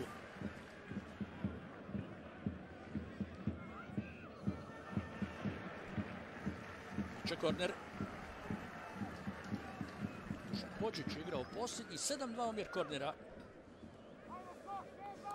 I sada imamo novog izvođača, to je Almedin Ziljkić. Do sad je Zoran Milutinović bio taj koji je ubacivao lopte sa ovog kornera. Sada Ziljkić na prvu stativu. Ne baš najbolje izbačena lopta, nema tamo nikoga u bijelom dresu. Kukrika.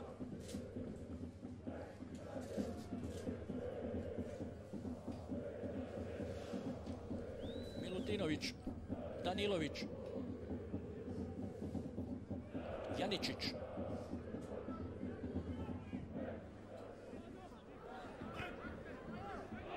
Miličević se dobro postavio. Sada Salčina. Rahmanović. Odličan potez Rahmanovića. Mogli ste vidjeti njegovu kretnju kako je procijenio da će Janičić zahvatiti ovu loptu glavom. Sastao je, pustio je Janičića jer bio je siguran da u onom trku unazad ne može loptu poslati dalje od 3-4 metra i onda je lijepo sačekao nogometaš Sarajeva. Kukrika.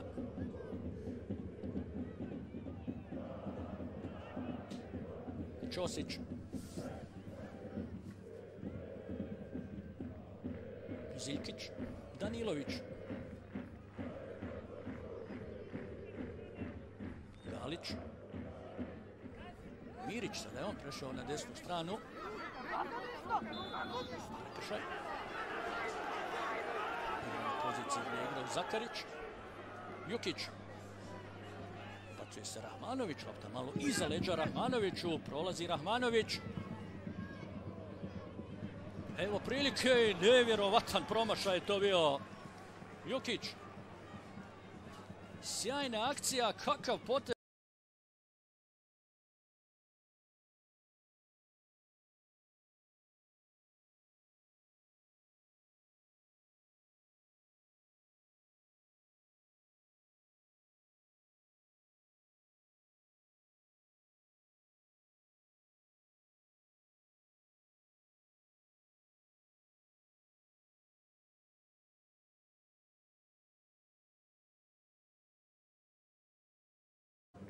Volkov.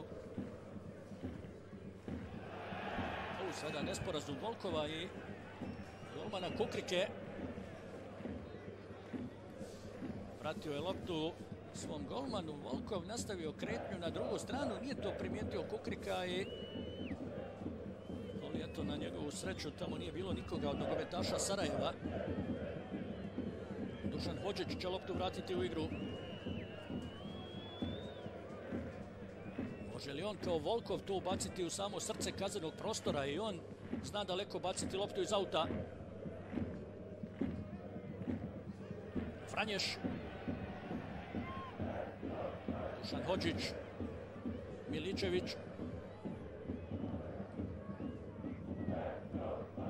Ziljkić.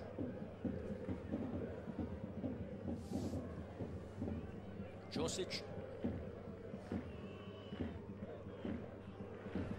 Joribuš vazdušni duel. Evo sada Mirića, ima dosta prostora. Bacuje se Galić, dobiva loptu. Ne prolazi centar šut. Sada može biti opasno. Jukić za Ahmetovića.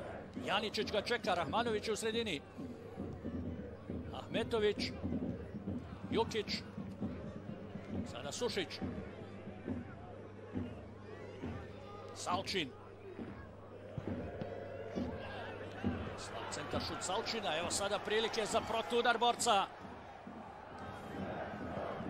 Mirić. Mnogo brži od Sušića. Jedan i drugi su igrali u Belgiji. Slab centar šut. Ziljkić u zoni šuta. Ziljkić. Namješta se Ziljkić, ali slab je tu udarac bio. Pogodio je, čini mi se, Sušića. Salčin. Ponovo dobar ritam utakmice. Rahmanović. Mnogo brži od Janičića. Kukrika u posljednjem trenutku. Sa dosta rizika je krenuo Kukrika da je zakasnio samo jedan stoti dio sekunde. Rahmanović bi bio na ovoj lopti, bila bi to praktično mat pozicija.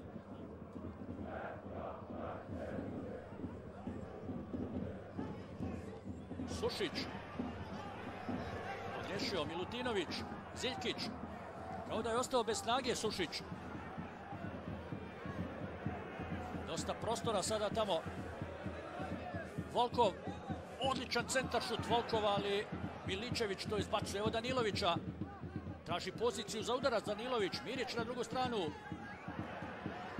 Nejako. Biće gol out. Kao da je Tino Sven Sušić ostao bez daha, čini mi se u nekoliko posljednjih minuta. Dva, tri duela onako na snagu je izgubio i nije isključeno da ovog bivšeg reprezentativca Bosne i Hercegovine, možda Marinović i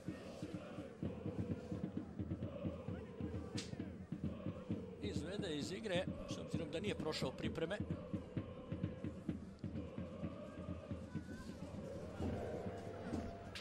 Traže igranje rukom gosti. Bjelica nije tog mišljenja. Evo Ziljkića. Postavlja loptu za Volkova.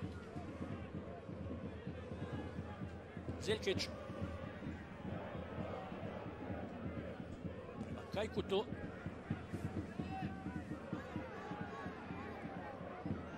Volkov.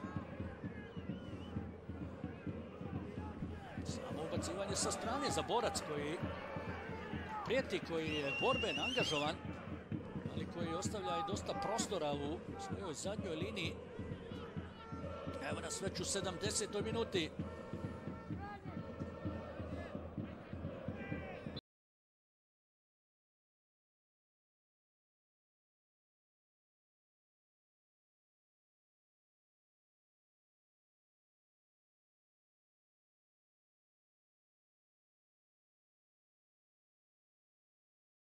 Gostio, ovdje je Bjelica vidio neki prekršaj.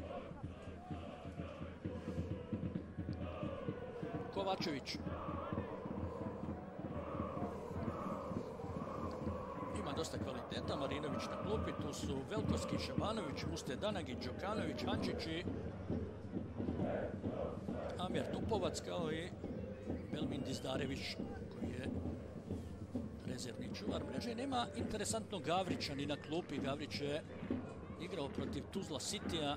Nema Milanovića koji je bio pa gotovo standardan u onom prvom dijelu prvenstva. Nema ga ponovo na klupi. I to je dovoljan pokazatelj koliku zapravo širinu u svojim redovima ima ekipa. Sa Koševa, Sušić,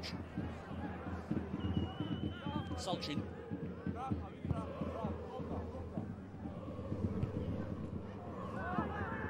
ponovo Sušić.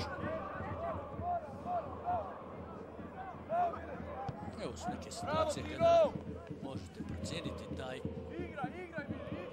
kvalitet. Miličević malo bio neoprezan, ali Oremuš oprezan. Šerbeđić prema Tataru. Tatar, evo prilike, Tatar, Tatar 2-0. Drugi gol Benjamina Tatara, duga lopta iz drugog plana. Benjamin Tatar, junak Bordo tima u Banja Luci. Duga lopta iz zadnje linije, neoprezna odbrana borca.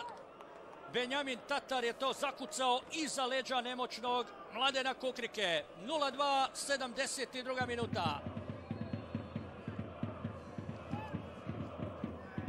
Nemoćan je bio zaista čuvar mreže borca. Gledamo još jednom, ali ovakve stvari se ne bi smjele dešavati. Duga lopta i pogledajte kako je Tatar tu. Jednostavno nedostaje tu Jovanović, definitivno. Pogledajte pored Čosića i Volkova kako se izborio za prostor Tatar i onako iz prvog dodira odmah odlučio šutirati. Zakucao je to iza leđa, njegov peti gol sezone. Sada traži izmjenu kao da ne može više Benjamin Tatar. Postigao je dva gola, učinio je svoje. Sarajevo vodi 2-0 na gradskom stadionu u Banja Luci.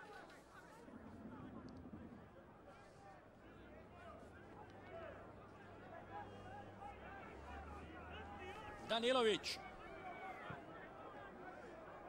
Može li Borac sada napraviti nešto? Vidjet ćemo.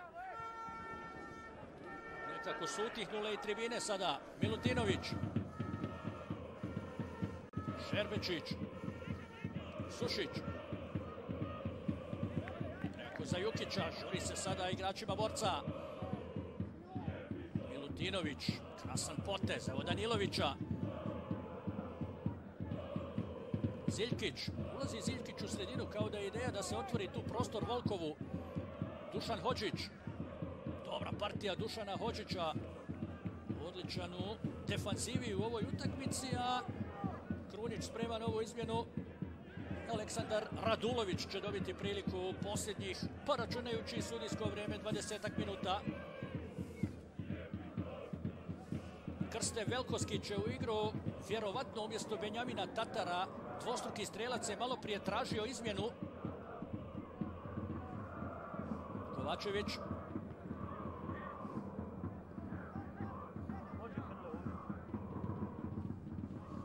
Amar Rahmanović nije mogao do lopte, ali izuzetno motivisan Rahmanović u ovoj utakmici. Uz Tatara mislim i prvo ime Sarajeva. Danilović. Tatar jednostavno takav tip igrača, njega vrlo često i ne vidimo mnogo, ali ima taj potez. Evo i danas je bio u dva navrata na pravom mjestu i stigao do dva gola.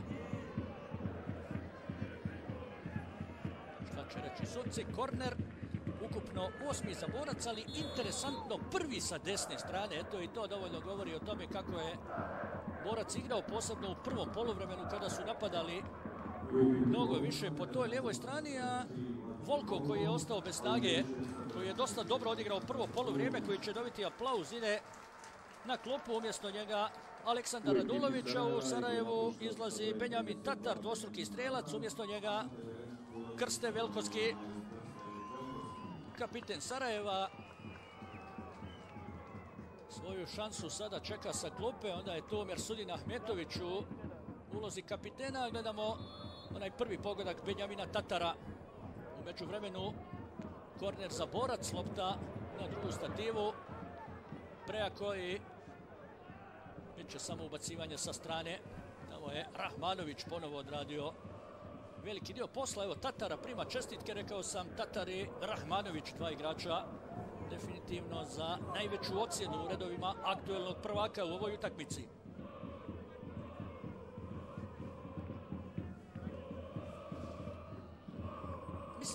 Prekid malo učinio svoje, tako da nema nekog prevelikog ritma u drugom poluvremenu. Milutinović. Odličan potez Mirića, izbacuje dva igrača Sarajeva i dalje Mirić. Bacuje se Radulović, sada je svjež odmoran. Vratio se Velkoski. Ulazak Velkoskog neće ništa promijeniti u igri Sarajeva. Naravno, Velkoski na onoj poziciji gdje je igrao Tatar. Centar šut, ali isto tako dobar Šerpečić. Rahmanović.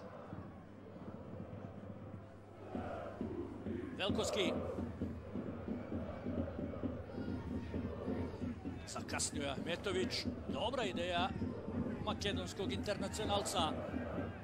Kukrika odmah vraća loptu u igru. Vidite kakva je razlika u svjetlosti.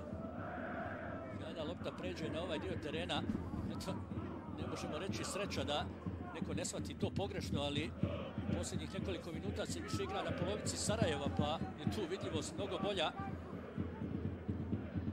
Dušan Hođić izbacuje. Janičić. Krenuo i Ćosić naprijed sada. Ziljkić. Kajkut. Milutinović. Galić. Prošao je Salčina, Galić, povrata lopta je udarca, brani Kovačević. Velika šansa, sada i dalje može biti opasno izblokiran je ovaj pokušaj. Sjajna intervencija Vladana Kovačevića nakon odličnog prodora Galića. Nisam vidio najbolje ko je šutirao.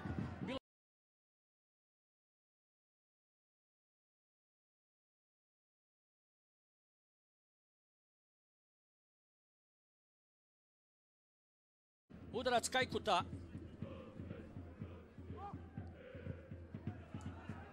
Dobar korner, ali Sarajevo ima tu sada sa Miličevićem, Šerpečićem, Ahmetovićem, Rahmanovićem. Zaista visinu da dobro brani ove prekide.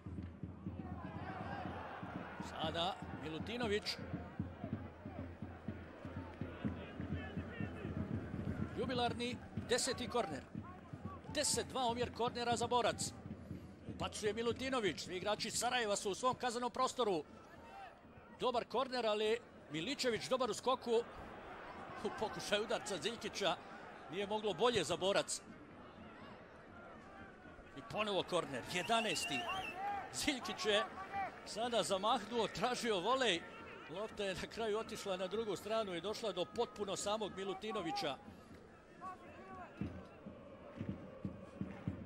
Ponovo Milutinović ubacuje na drugu stativu. Evo gužve. Evo šanse i ponovo Kovačević i dalje opasno. I na kraju hvata to Kovačević. Kakva gužva. Vladan Kovačević postaje junak aktuelnog prvaka. Nekoliko sjajnih intervencija potencijalnog reprezentativca Bosne i Hercegovine. Gledamo još jednom. Ponovo je bio tu Kajkut u dobroj situaciji, ali nije se snašao. Evo još jednom sa 5-6 metara. Zasmetao mu je malo i Ahmetović. Ostaje 0-2. Kukrika. Danilović. Milutinović.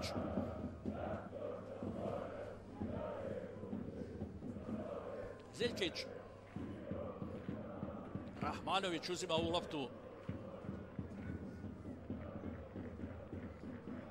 Hoće li stići Velkoski? Hoće, tek je ušao u igru, svježi, ali morat će sačekati. Nema mnogo sa igrača u kazanom prostoru. Ziljkić. Ziljkić lijepo osvaja teren i dalje Ziljkić. Pa morao se ranije osloboditi lopte. Ziljkić sve je uradio dobro, ali kada je osvojio 50 metara, onda je morao tu loptu gurnuti nekome od svojih saigrača. Metović u 34. godini. Vidjeli ste ovaj trk, evo Radulovića. Sada Ziljkić. Ponovo dobar tempo igre. Ide Ziljkić, čeka ga Hođić. Uspio je centrirati, ali Miličević, pa onda Šerbečić. Osvajaju loptu Banja Lučani, bio je to Ćosić koji je sada mnogo ofanzivniji. Otišao je na svoju prirodnu poziciju, poziciju lijevog beka, evo ga. Radulović ga mijenja nazad. Ide to tačno u ruke Vladana Kovačevića. Pokušava, eksperimentiše Branislav Krunić, to je dobro. Definitivno, iako ima ovaj zaostatak od 2-0, Borac se trudi, Borac želi napraviti istu stvar koju je napravio Široki u prošlom kolu. Sada jedan krasan potez Salčina. Onda greška. Odlaze navijači Sarajeva u 81. minutu sa stadiona. Obratite pažnju na ovo. Potez kola. 19 godina. Radulović.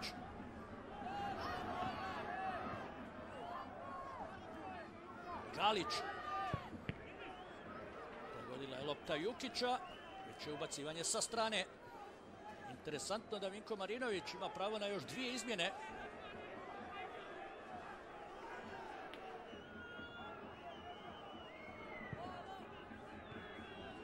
Centaršut je bio dobar. Sada Ćosić. Pogodio Sušića.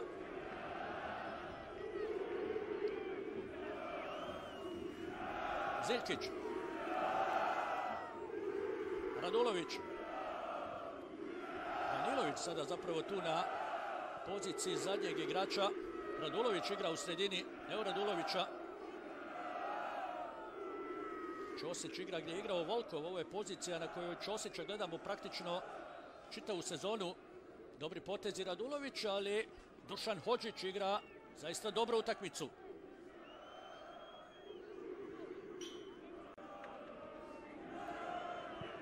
Ide to na drugu stranu, Galić. Mirić. Dobar centar šut Mirića, Vranješ.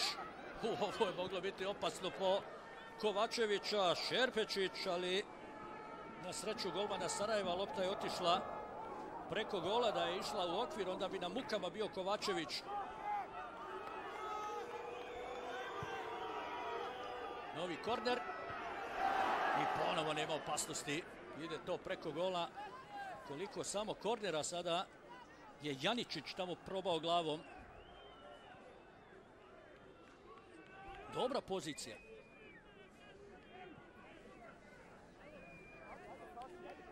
Borac dakle već u srijedu igra protiv željezničara tu utakmicu Kupa Bosne i Hercegovine. Sarajevo kao što znate eliminisano u ovom takmičenju, a ta utakmica po najavama ovdje, kako su nam rekli u Banja Luci, trebala se igrati u srijedu u 18 sati. Sada se desio ovaj kvar.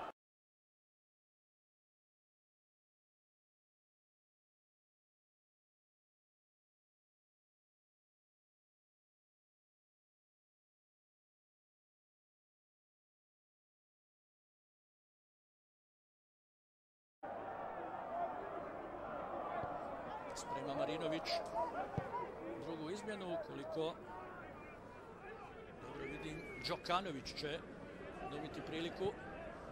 Milutinović. Kajkut.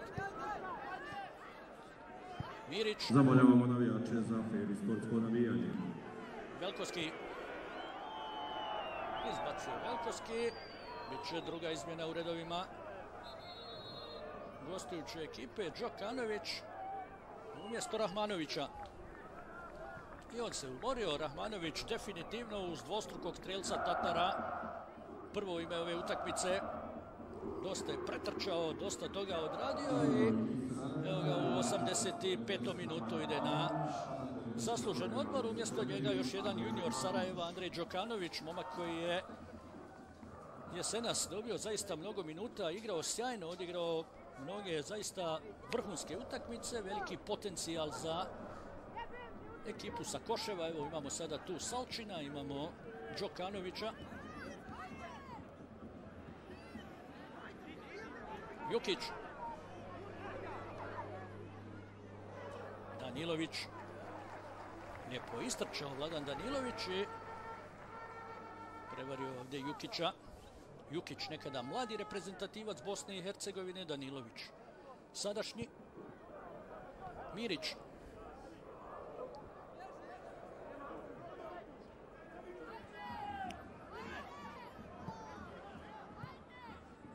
Sada Ziljkić izbacuje Salčin. Napada, trudi se, borac želi do pogodka u ovoj utakmici. Sarajevo se dobro brani, veliki pritisak borca, ne samo u ovom trenutku, nego u sigurno posljednjih desetak, 15 minuta igra se konstantno tu na polovici koja pripada gostima.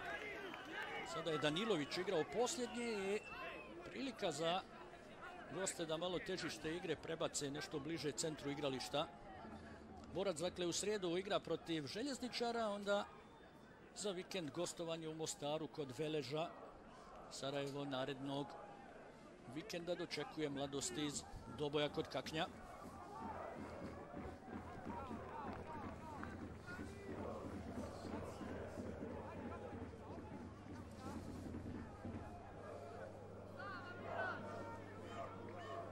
Salčin. Ahmetović sada jedan pomalo neobičan potez. Salčin. Đokanović. Đokanović prekršaj. Bio i ranije, pustio je Bjelica prednost. Dobra arbitraža Vladimira Bjelice u ovoj utakmici. Dosta je pustio da se igra i jednostavno je to jedan od razloga što je ova utakmica sigurno opravdala epite derbija. Bila bi još bolja da nije bilo ovih problema sa rasvjetom, ali nekako mi se čini da je dobra stvar što su odlučili da se utakmica nastavi. Evo i posljednje izmjene u redovima Sarajeva. Mersudin Ahmetović traku predaje Velkoskom, ide na klupu, a bivši igrač Banjalučkog borca Haris Handžić će dobiti nekih 5-6 minuta. Haris Handžić ostavio zaista dobar dojam. Interesantno da je Handžić bio član borca u ono vrijeme kada je Vinko Marinović bio trener ove ekipe. Jednostavno ove zime je Haris Handžić bio praktično na pragu odlaska iz Sarajeva, ali evo sada Tino Sven Sušić zbog zadržavanja dobiva žuti karton.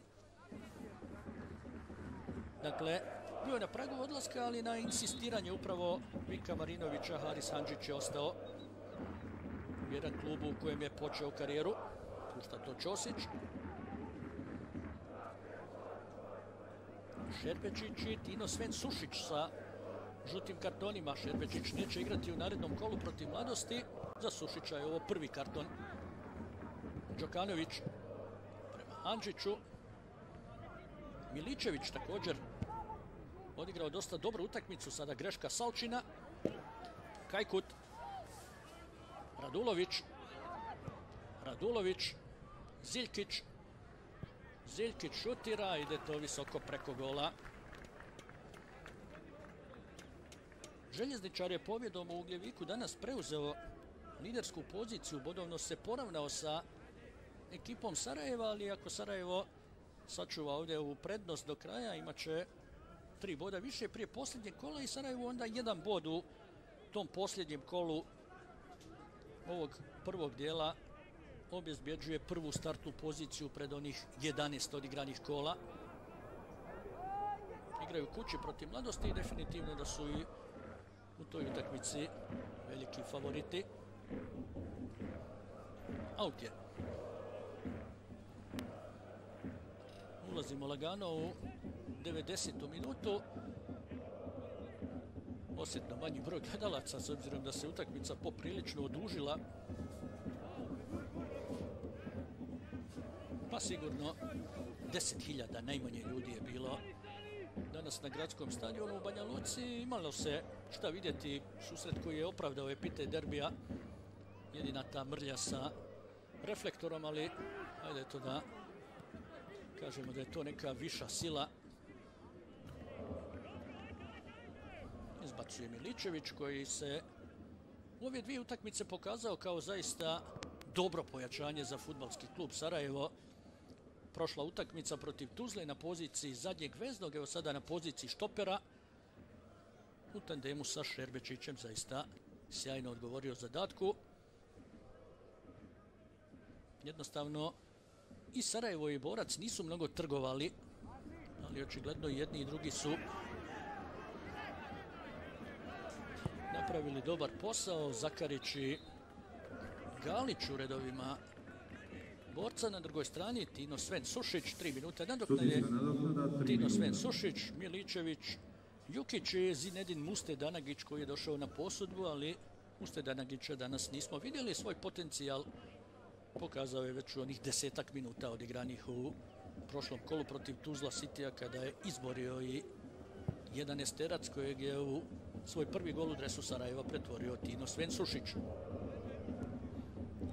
Danilović na štoperu, to je zanimljivo u ovih posljednjih desetak minuta od kada je ušao Radulović. Izbacuje Šerbečić.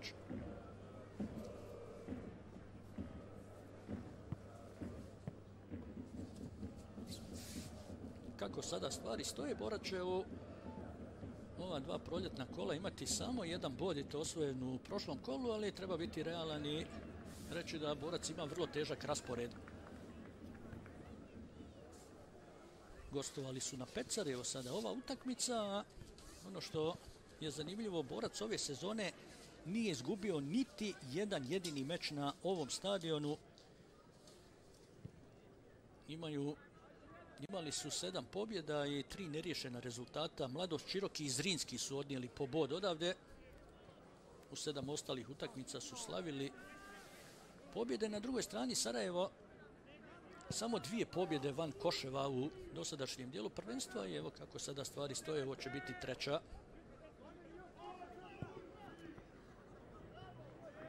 Sušić. Handžić. Ubacio se Đokanović. Zakratko Jukić, Sušić. Ide to onda nazad za Miličevića. Šerbečić, ušli smo u posljednju minutu i čini se da su i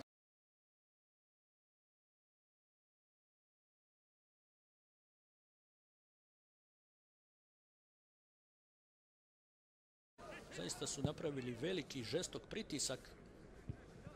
Bilo je to u 72. minuti, ali nisu uspjeli doći do gola koji bi im dao kakvu takvu šansu da možda mogu do jednog boda. Vidjet ćemo sada.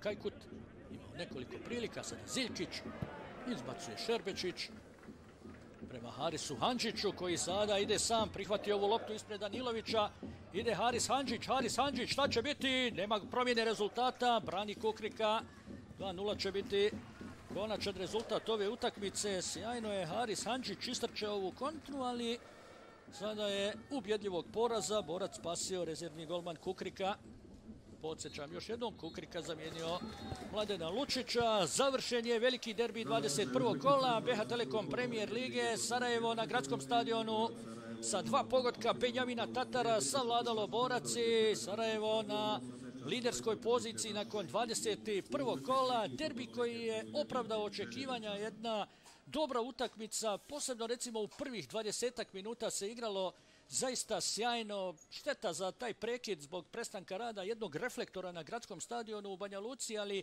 mislim da je bila dobra odluka. Ja sam se nekako i prepao da će suci odlučiti da se ne igra dalje, da se utakmica nastavi sutra ili da se odredi neki drugi termin za nastavak meča, ali izašli su Vranješ Ahmetović